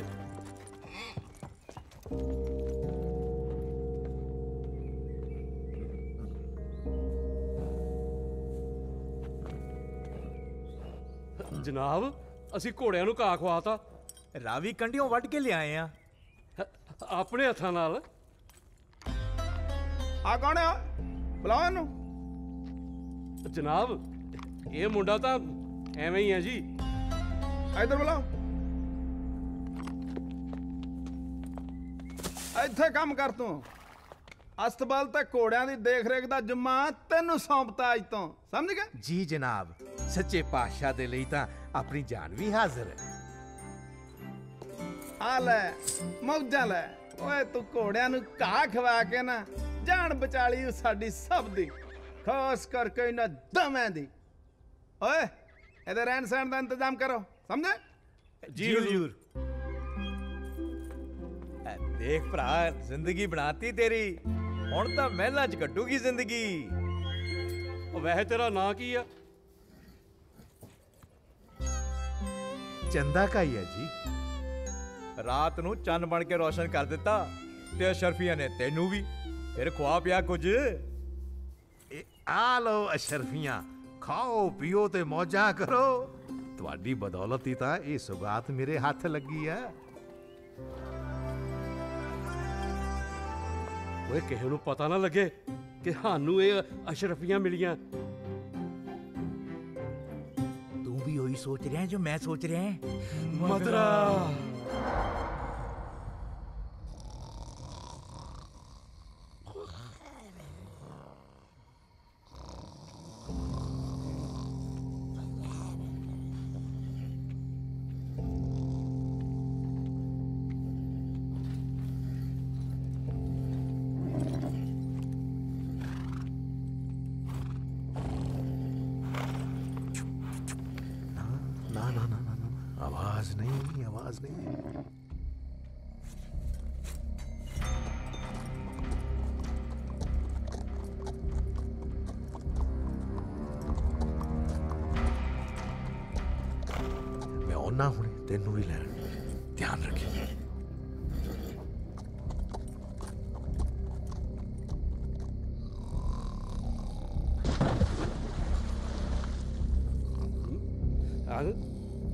ਸੀ। ਉਹ ਕੋਈ ਪੱਥਰ ਡਿੱਗਿਆ ਹੋਣਾ ਦਰਿਆ 'ਚ।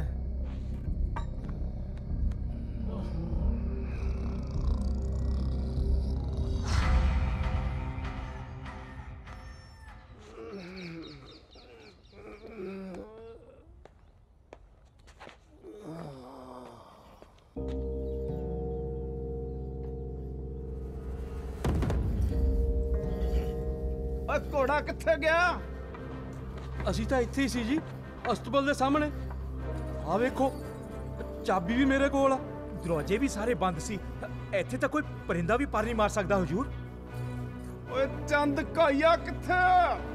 ਉਹ ਲੱਗਦਾ ਕਾਈਆ ਚੰਦ ਚੜਾ ਗਿਆ। ਉਹ ਕਾਈਆ ਕਿਦਾਂ ਲੈ ਜੂ ਘੋੜੇ ਨੂੰ? ਕਿਉਂ? ਕਿਉਂ ਨਹੀਂ ਲਿਜਾ ਸਕਦਾ? ਤੁਸੀਂ ਤਾਂ ਦੋਵੇਂ ਪੀ ਕੇ ਸੌਂ ਰਹੇ ਸੀ ਨਾ। ਲੰਮਾ ਮੈਂ ਬੱਚੂ ਅੱਜ ਤੁਹਾਡੀ ਪੀਤੀ। ਤੁਹਾਨੂੰ ਕੀ ਪਤਾ? ਹਾਂ ਹਜ਼ੂਰ ਇਹ ਬਿਲਕੁਲ ਠੀਕ ਕਹਿ ਰਿਹਾ। ਦਰਵਾਜ਼ਾ ਵੀ ਬੰਦ ਆ। ਬਾਹਰ ਵੀ ਸਿਪਾਹੀ ਤੈਨਾਤ ਹੈ ਹਜ਼ੂਰ। ਤੇ ਇਹ ਇੱਧਰ ਉਹ ਕਿੱਥੇ ਲੈ ਚੱਲਿਆ ਮਰਵਾਏਗਾ? ਇੱਧਰੋਂ ਤਾਂ ਉਹੀ ਦੇਖ ਕੇ ਘਬਰਾ ਜੇ। ਓਏ ਫਿਰ ਜ਼ਮੀਨ ਨਿਕਲ ਗਈ। ਕਿ ਅਸਮਾਨ ਖਾ ਗਿਆ? ਓਏ ਲੱਭੋ ਨੂੰ ਲੱਭੋ ਨਹੀਂ ਤਾਂ ਮੈਂ ਤੁਹਾਡੇ ਦੋਵਾਂ ਦੇ ਸਿਰ ਕਲਮ ਕਰ ਦੂੰਗਾ ਸਮਝੇ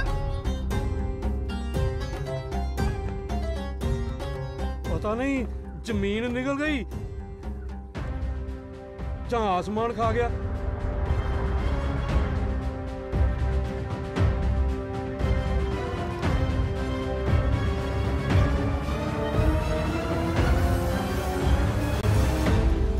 ਬਈ ਵਾਹ। ਨਾ ਖੂਨ ਡੁੱਲਿਆ, ਨਾ ਤਲਵਾਰ ਮਿਆਨ ਚੋਂ ਬਾਹਰ ਨਿਕਲੀ। ਫਿਰ ਵੀ ਦਲਬਾਗ ਨੂੰ ਮੁਗਲ ਕਿਲੇ ਚੋਂ ਕੱਢ ਲਿਆ ਏ ਇਹ ਤਾਂ ਵਿਧੀ ਚੰਦੀ ਕਰ ਸਕਦੇ ਸੀ। ਦਿਲਬਾਗ ਨੂੰ ਹੁਣ ਗੁਲਬਾਗ ਤੋਂ ਬਿਨਾਂ ਚੈਨ ਨਹੀਂ ਆਉਣਾ। ਉਹਨੂੰ ਵੀ ਹੁਣ ਲਿਆਉਣਾ ਹੀ ਪਏਗਾ। ਪਰ ਬਿਧੀ ਚੰਦ ਜੀ ਤੁਸੀਂ ਦੁਬਾਰਾ ਉੱਥੇ ਨਹੀਂ ਜਾ ਸਕਦੇ। ਪਛਾਣੇ ਜਾਓਗੇ। ਓਏ ਤੂੰ ਫਿਕਰ ਨਾ ਕਰ। ਮੈਨੂੰ ਕੋਈ ਨਹੀਂ ਪਛਾਣ ਸਕਦਾ।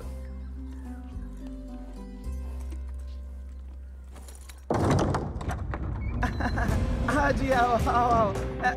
ਇਹ- ਜਗ੍ਹਾ ਜੀ ਜਿੱਥੋਂ ਸਾਡਾ ਘੋੜਾ ਗਵਾਚਾ ਸੀ।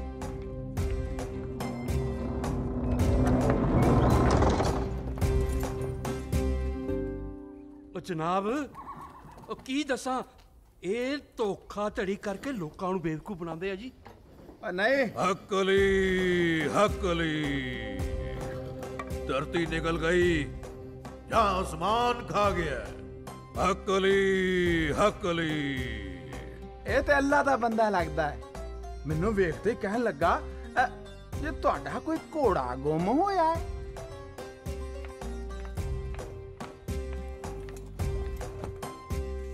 ਓਹ ਇਹ ਤੇ ਚੰਦ ਚੜਾ ਗਿਆ ਕੋਈ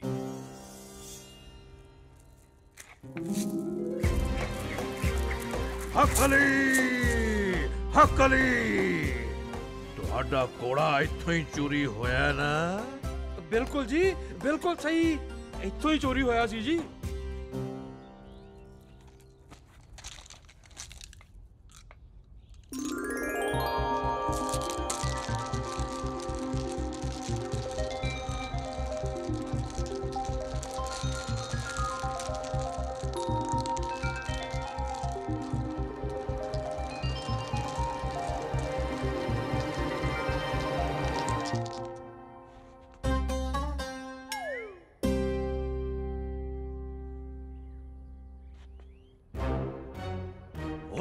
ਉੱਥੋਂ ਹੀ ਗਾਇਬ ਹੋਈ ਸੀ ਘੋੜੇ ਦੀ ਕਾਠੀ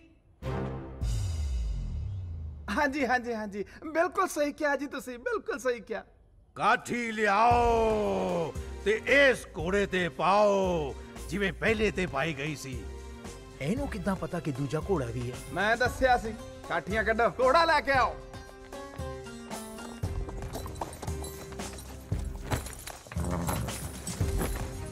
ਹਟ ਹਟ ਹਟ ਹਟ ਹਟ ਹਟ ਸਭ ਦੂਰ ਦੂਰ ਹੋ ਜਾਓ ਹੁਣ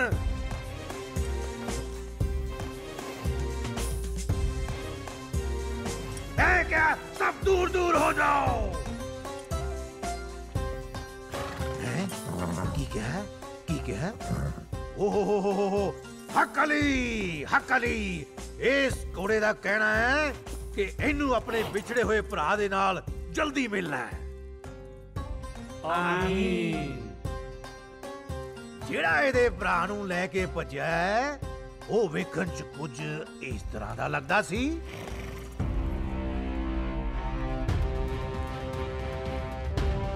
ਓਏ ਤਾਂ ਚੰਦ ਘਾਈਏ ਵਰਗਾ ਹੀ ਬਣਦਾ ਜਾ ਰਿਹਾ ਹੈ। ਹੈ? ਓਏ ਤੇ ਚੰਦ ਕਾਇਆ ਯਾ ਮੈਂ ਹਾਂ ਵਿਧੀ ਚੰਦ ਸ਼ੀਨਾ ਸੱਚੇ ਪਾਤਸ਼ਾਹ ਦਾ ਪਰਮ ਸੇਵਕ। ਇਹ ਗੁਰੂ ਘਰ ਦੇ ਘੋੜੇ ਖੋਹੇ ਗਏ ਸੀ। ਪਹਿਲੇ ਘੋੜੇ ਨੂੰ ਵੀ ਮੈਂ ਲੈ ਕੇ ਗਿਆ ਸੀ ਤੇ ਦੂਜੇ ਨੂੰ ਵੀ ਲੈ ਕੇ ਜਾ ਰਿਹਾ। ਰੋਕ ਸਕਦੇ ਹੋ ਤੇ ਰੋਕ ਲਓ।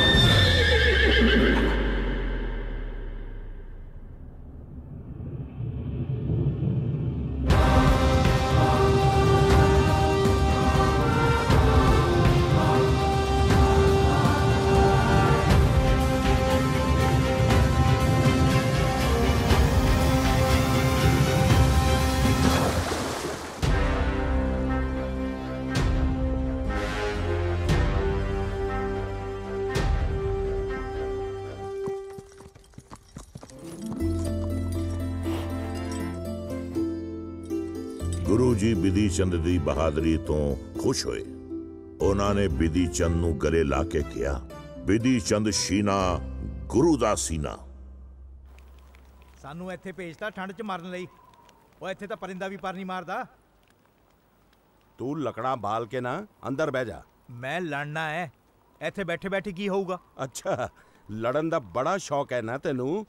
ਚੁੱਕ ਤਲਵਾਰ ਤੇ ਲੜ ਹੁਣ। ਜਦੋਂ ਦੇ ਅਸੀਂ ਇੱਥੇ ਆਏ ਆ ਦੋ ਜੰਗਾਂ ਹੋ ਚੁੱਕੀਆਂ ਨੇ। ਬਿਧੀ ਚੰਦ ਲੜ ਰਿਹਾ ਤੇ ਜਿੱਤ ਰਿਹਾ।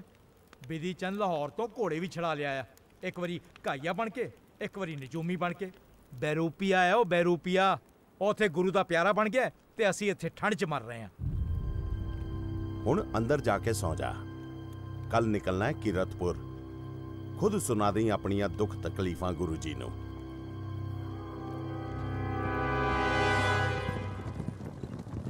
ਹਜ਼ੂਰ ਫਤਿਹਪੁਰ ਸੀਕਰੀ ਤੋਂ ਕਾਲੇ ਖਾਂ ਤਸ਼ਰੀਫ ਲਿਆਏ ਨੇ। ਹਾਂ ਆਉਣ ਦਿਓ ਉਹਨੂੰ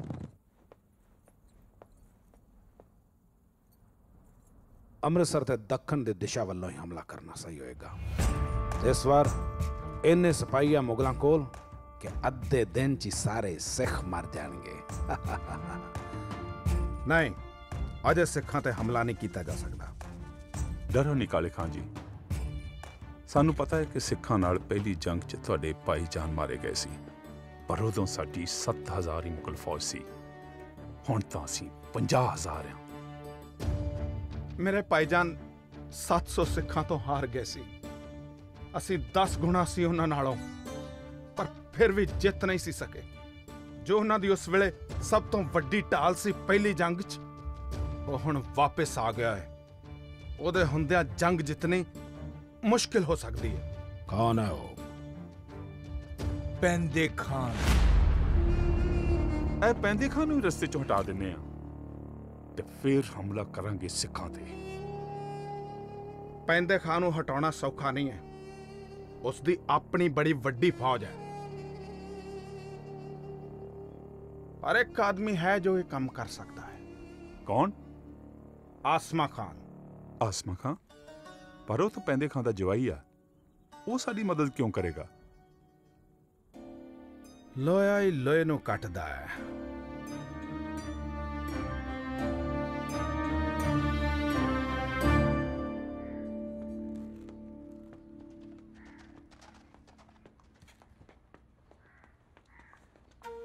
ਕਿੱਥੇ ਸੀ ਤੂੰ?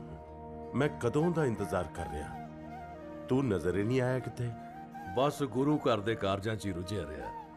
ਤੇਰੇ ਆਉਣ ਦੀ ਖਬਰ ਸੁਣੀ ਤੇ ਮੈਂ ਭੱਜਿਆ ਹੀ ਆਇਆ। ਬਿਧੀ ਚੰਦ ਛੀਨਾ ਗੁਰੂ ਦਾ ਸੀਨਾ। ਭਾਈ ਬਹੁਤ ਖੁਸ਼ੀ ਹੁੰਦੀ ਆ ਜਦੋਂ ਪਾਰ ਸਰਹੱਦਾਂ ਤੇ ਬੈਠੇ ਲੋਕਾਂ ਤੋਂ ਤੇਰੀਆਂ ਗੱਲਾਂ ਸੁਣਦੇ ਆ। ਤੈਨੂੰ ਬਹੁਤ ਯਾਦ ਕਰਦੇ ਆ। ਦੋ ਜੰਗਾਂ ਤੇਰੇ ਬਿਨਾ ਲੜਨੀਆਂ ਪਈਆਂ। ਉਹ ਤੂੰ ਹੁੰਦਾ ਤੇ ਜੰਗਾਂ ਲੜਨ ਦਾ ਅੰਦਾਜ਼ ਕੁਝ ਵੱਖਰਾ ਹੀ ਹੁੰਦਾ। ਤੂੰ ਢਾਲ ਐ ਸਾਡੀ ਢਾਲ। ਖਬਰ ਪਹੁੰਚਾ ਦਿੰਦਾ। ਮੈਂ ਫਟ ਹਾਜ਼ਰ ਹੋ ਜਾਂਦਾ ਢਾਲ ਬਨ ਕੇ। ਜਦੋਂ ਤੱਕ ਤੂੰ ਸਰਹੱਦ ਤੋਂ ਇੱਥੇ ਪਹੁੰਚਣਾ ਸੀ ਉਦੋਂ ਤੱਕ ਤਾਂ ਜੰਗ ਹੀ ਖਤਮ ਹੋ ਜਾਣੀ ਸੀ। ਚਲ ਤੂੰ ਸੁਣਾ ਆਪਣੀ ਸਰਹੱਦ ਦੀ। ਸਰਹੱਦਾਂ ਦੀ ਤਾਂ। ਬੇਦੀ ਚਾਂਜੀ ਗੁਰੂ ਜੀ ਨੂੰ ਭੇਟਾਂ ਹੋਈਆਂ ਵਸਤੂਆਂ ਚੋਰੀ ਹੋ ਗਈਆਂ ਨੇ।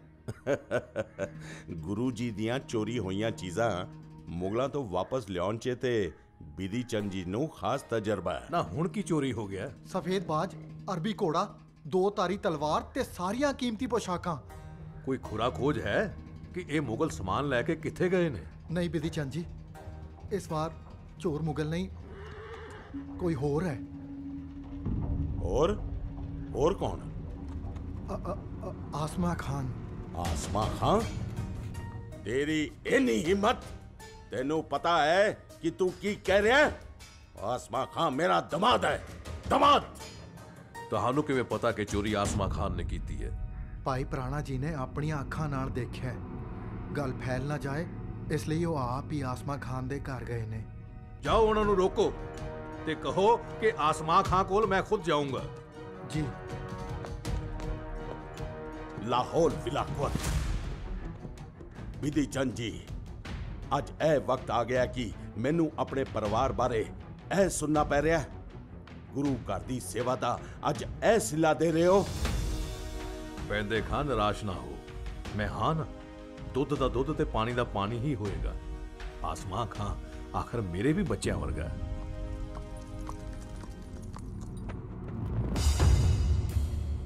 ਇਹ ਇਲਜ਼ਾਮ ਲਾ ਕੇ ਤੁਸੀਂ ਚੰਗਾ ਨਹੀਂ ਕੀਤਾ। ਮੈਂ ਹੁਣੇ ਗੁਰੂ ਜੀ ਨੂੰ ਮਿਲਣ ਜਾ ਰਿਹਾ ਪੈਂਦੇ ਖਾਂ ਗੁਰੂ ਸਾਹਿਬ ਸਭ ਜਾਣਦੇ ਨੇ। ਤੁਸੀਂ ਥੋੜਾ ਧੀਰਜ ਰੱਖੋ। ਬਿਧੀ ਚੰਦ ਨੂੰ ਵਾਪਸ ਆਉਣ ਦਿਓ ਉਸ ਤੋਂ ਬਾਅਦ ਹੀ ਗੁਰੂ ਜੀ ਨੂੰ ਮਿਲਣਾ ਸਹੀ ਰਹੇਗਾ ਗੁਰੂ ਵੀ ਸਭ ਜਾਣਦੇ ਨੇ ਤੁਸੀਂ ਵੀ ਸਭ ਜਾਣਦੇ ਹੋ ਬਸ ਮੈਂ ਹੀ ਹਾਂ ਜਿਹਨੂੰ ਕੁਝ ਨਹੀਂ ਪਤਾ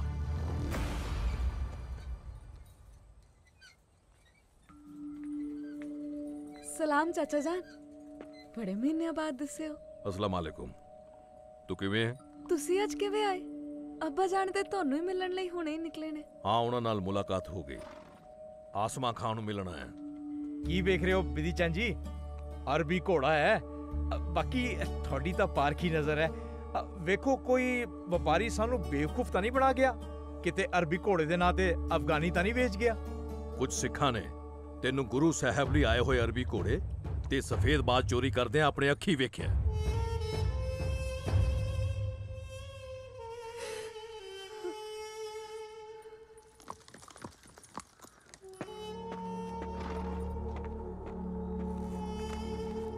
ਆਸਮਾ ਖਾਂ ਕਿੱਥੇ ਆ?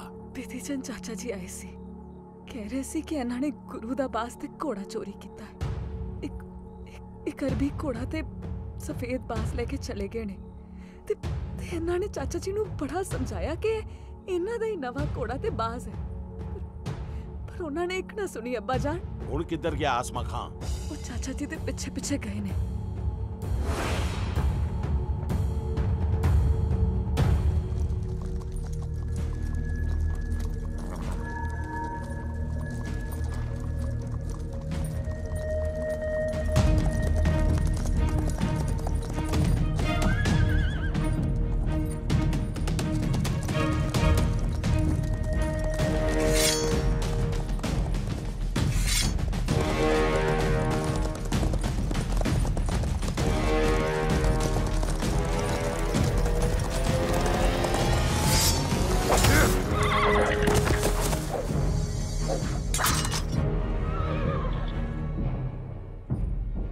ਪੁੱਤਰ ਵਰਗਾ ਹੈ। ਪਰ ਗੁਰੂ ਘਰ ਚੋਰੀ ਕਰਕੇ ਤੂੰ ਚੰਗਾ ਨਹੀਂ ਕੀਤਾ। ਹੁਣ ਤਾਂ ਪੈਂਦੇ ਖਾਈ ਤੈਨੂੰ ਸਮਝਾ ਸਕਦਾ ਹੈ।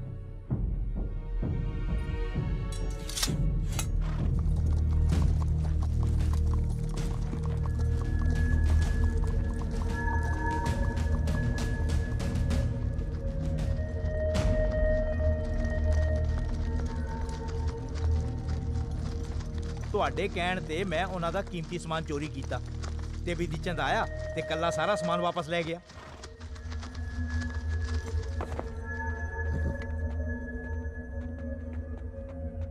ਇਹ ਕੀਮਤੀ ਸਮਾਨ ਦਾ ਸਾਨੂੰ ਕੋਈ ਲਾਲਚ ਨਹੀਂ ਹੈ। ਤੇ ਫਿਰ ਮੇਰੇ ਤੋਂ ਚੋਰੀ ਕਿਉਂ ਕਰਵਾਈ? ਤੂੰ ਇਹ ਜਾਣ ਕੇ ਕੀ ਲੈਣਾ?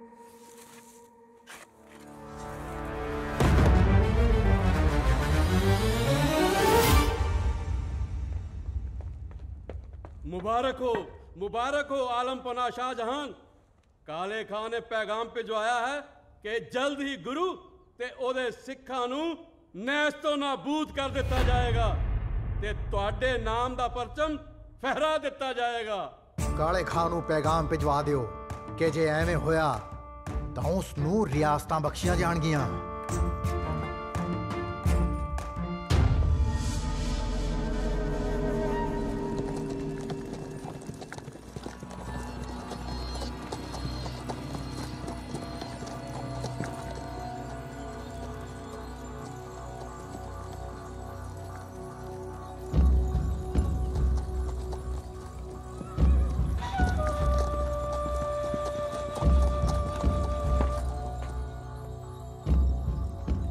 ਖਾਂ ਕਿੱਥੇ ਹੈ। ਪੈਂਦੇ ਸ਼ਾਇਦ ਹੁਣ ਇੱਥੇ ਕਦੀ ਨਹੀਂ ਆਏਗਾ। ਆਸਮਾ ਖਾਨ ਦੇ ਕਤਲ ਹੋਣ ਤੋਂ ਬਾਅਦ ਉਹ ਗੁੱਸੇ 'ਚ ਪਾਗਲ ਹੋਇਆ ਮੁਗਲਾਂ ਨਾਲ ਜਾ ਰਲਿਆ ਹੈ। ਆਸਮਾ ਖਾਨ ਦਾ ਕਤਲ? ਜੀ ਤੇ ਉਹ ਸਮਝਦਾ ਹੈ ਕਿ ਆਸਮਾ ਖਾਨ ਦਾ ਕਤਲ ਤੁਸੀਂ ਕੀਤਾ ਹੈ। ਮੇਰੇ ਤੇ ਇੰਨਾ ਵੱਡਾ ਇਲਜ਼ਾਮ ਲਗਾਇਆ ਜਾ ਰਿਹਾ ਹੈ। ਮੈਂ ਹੁਣੇ ਪੈਂਦੇ ਖਾਂ ਨੂੰ ਮਿਲਦਾ ਨਹੀਂ ਨਹੀਂ ਬੇਦੀ ਜੀ। ਉਹ ਹੁਣ ਪਹਿਲੇ ਵਾਲਾ ਪੈਂਦੇ ਖਾਨ ਨਹੀਂ ਰਿਹਾ। ਕਾਲੇ ਖਾਨ ਨੇ ਉਹਨੂੰ ਤੁਹਾਡੇ ਖਿਲਾਫ ਬੁਰੀ ਤਰ੍ਹਾਂ ਭੜਕਾ ਦਿੱਤਾ ਹੈ ਤੇ ਉਹ ਕਿਸੇ ਵੇਲੇ ਵੀ ਤੁਹਾਡੇ ਤੇ ਹਮਲਾ ਕਰ ਸਕਦਾ ਹੈ।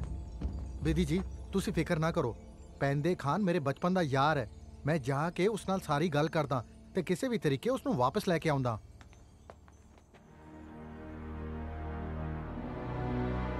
ਮੁਗਲਾਂ ਦੀ ਤਾਕਤ ਉਹਨਾਂ ਦੀ ਗਿਣਤੀ ਵਿੱਚ ਹੈ। ਸਾਡੀ ਤਾਕਤ ਸਾਡੇ ਜੋਸ਼ ਤੇ ਹਿੰਮਤ ਵਿੱਚ ਹੈ। ਜਿੰਨਾ ਸਾਡੇ 'ਚ ਜੋਸ਼ ਹੋਏਗਾ ਉਨੀ ਜਲਦੀ ਅਸੀਂ ਮੁਗਲਾਂ ਦੀਆਂ ਤੱਜੀਆਂ ਉਡਾਵਾਂਗੇ। ਮਾਫ ਕਰਨਾ ਭਾਈ ਜੀ ਆ ਮੁਗਲਾਂ ਦਾ ਮੁਖਬਰ ਫੜਿਆ ਟਿੱਲੇ ਤੇ ਖੜਾ ਹੋ ਕੇ ਸਾਡੀਆਂ ਫੌਜਾਂ ਦੀ ਗਿਣਤੀ ਕਰਨ ਡਿਆ ਸੀ। ਹੁਣ ਤੱਕ ਕੀ ਕੀ ਜਾਣ ਗਿਆ ਤੂੰ? ਅ, ਬ- ਬ- ਬਸ ਇਹੋ ਜੀ ਕਿ ਤੁਹਾਡੀ ਫੌਜ ਕਿੰਨੀ ਆ ਅ, ਕਿੰਨੇ ਘੋੜੇ ਆ ਤੁਹਾਡੇ ਕੋਲ ਹਥਿਆਰ ਕਿੰਨੇ ਆ?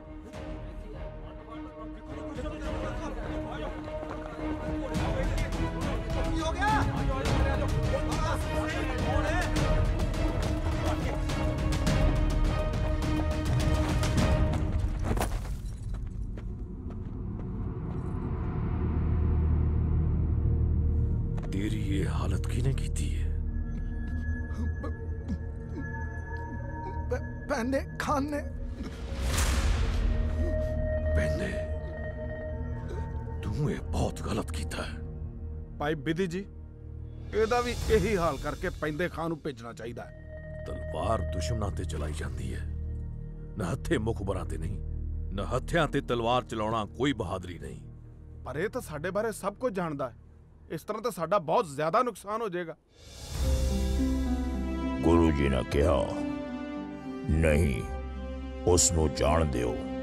ਵਾਹ ਗੁਰੂ ਜੀ ਬਾਰੇ ਬਹੁਤ ਸੁਣਿਆ ਸੀ ਤੇ ਅੱਜ ਵੇਖ ਵੀ ਲਿਆ।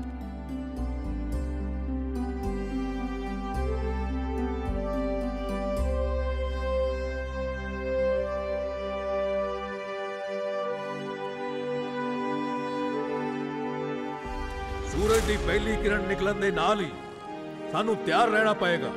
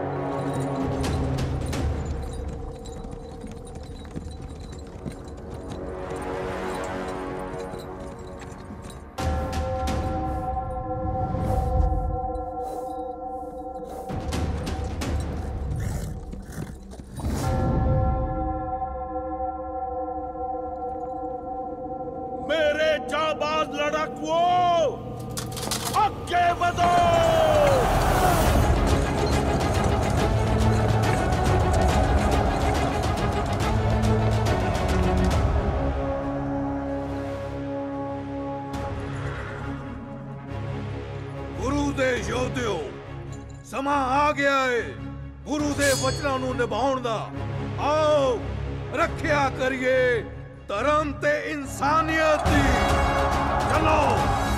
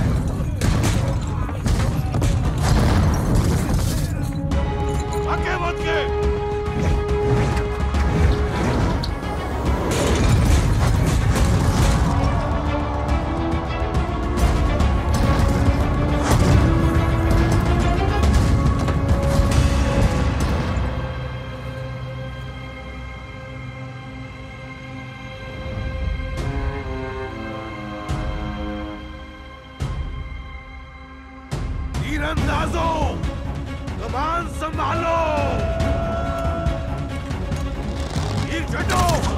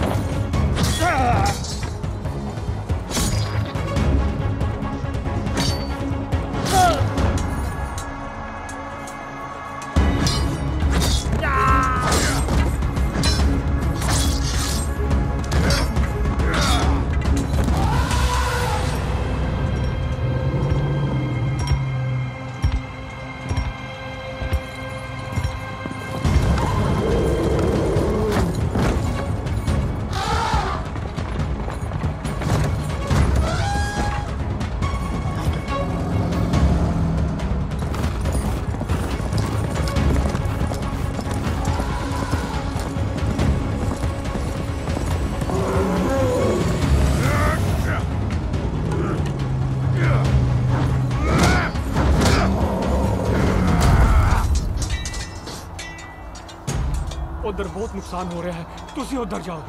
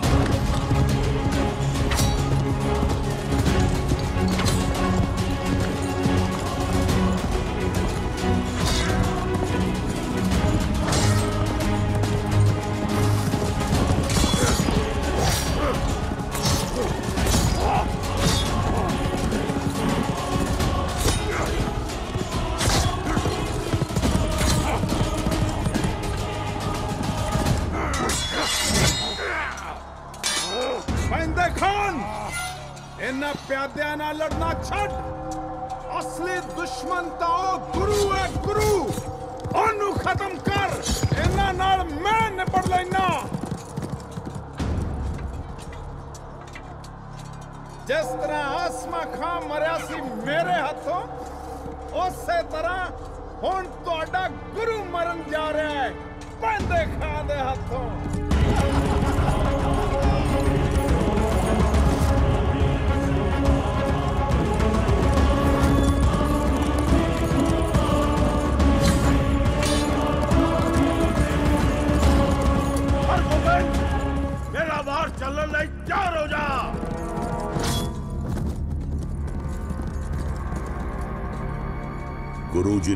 ਪੈਂਦੇ ਤੂੰ ਲਲਕਾਰਿਆ ਹੈ। ਇਸ ਲਈ ਪਹਿਲਾ ਵਾਰ ਵੀ ਤੂੰ ਹੀ ਕਰ।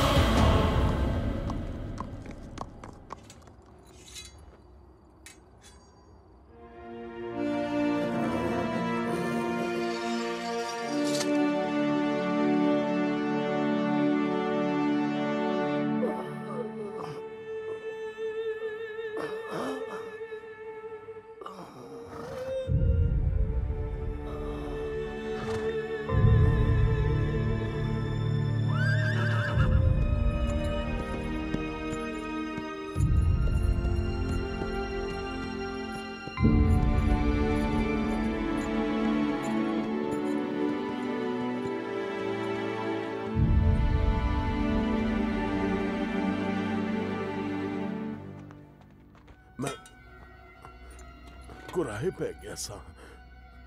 ज़बरदस्त जुलमी हो गया सा। चंगा होया तो अड्डे हथों मेरा खात्मा होया। हूँ सुकून मर सकूँगा।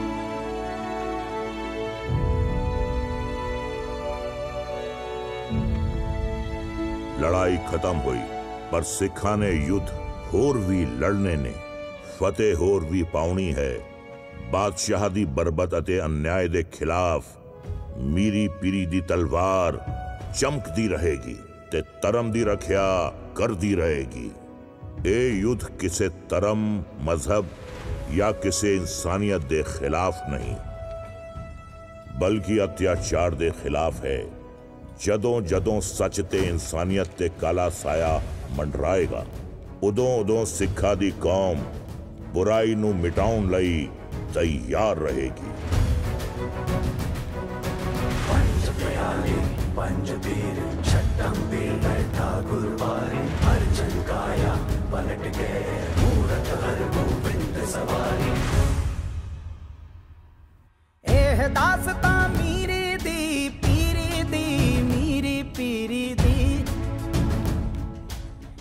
ਦਾਸਤਾਂ ਸ਼ਕਤੀ ਦੀ, ਭਗਤੀ ਦੀ, ਰਾਜ ਫਕੀਰੀ ਦੀ। ਨਾ ਧਰਮ ਕੁਰਾਹੇ ਪੈਣ ਦਵੇ, ਨਾ ਜ਼ਬਰ ਜ਼ੁਲਮ ਨੂੰ ਸਹਿਣ ਦਵੇ। ਮਾਸੂਮ ਦੀ ਰਤ ਨ ਵਹਿਣ ਦਵੇ, ਇਹ ਗਾਥਾ ਦਾ ਮੰਗੀਰੀ ਦੀ। ਇਹ ਦਾਸਤਾਂ ਮੀਰੀ ਦੀ।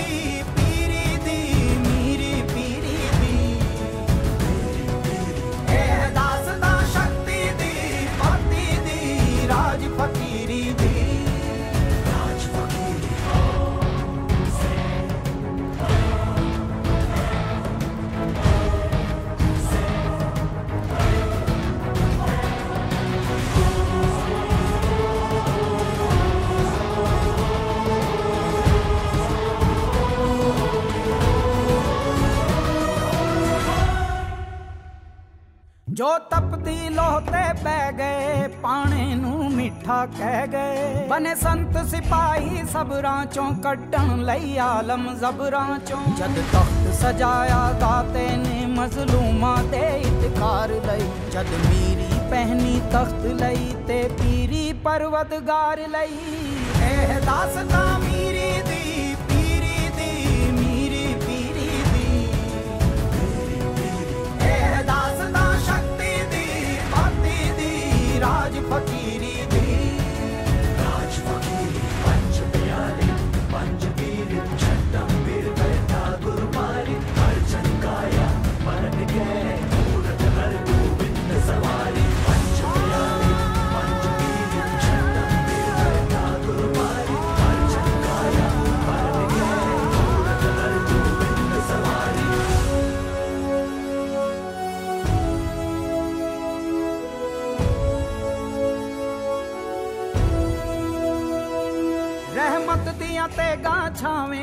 ਜਦ ਫੁੱਲਾਂ ਮਹਿਕ ਖਿਲਾਰੀ, ਜ਼ੁਲਮਾਂ ਦੀਆਂ ਕਾਲੀਆਂ ਰਾਤਾਂ ਮਹਿਰਾਂ ਦੀ ਬਲੀ ਚਿੰਗਾਰੀ। ਜਦ ਮਾਲਾ ਫੜਨੇ, ਹੱਥਾਂ ਨੇ ਫੜ ਖੰਡੇ, ਕੌਤਕ ਕੀਤਾ ਸੀ। ਫਟ ਮਾਨਵਤਾ ਦਾ ਸੀਤਾ ਸੀ, ਜਦ ਦੀਵੀਆਂ ਚਾਨਣ ਕੀਤਾ ਸੀ। ਇਹ ਦਾਸਤਾਂ ਮੀਰੀ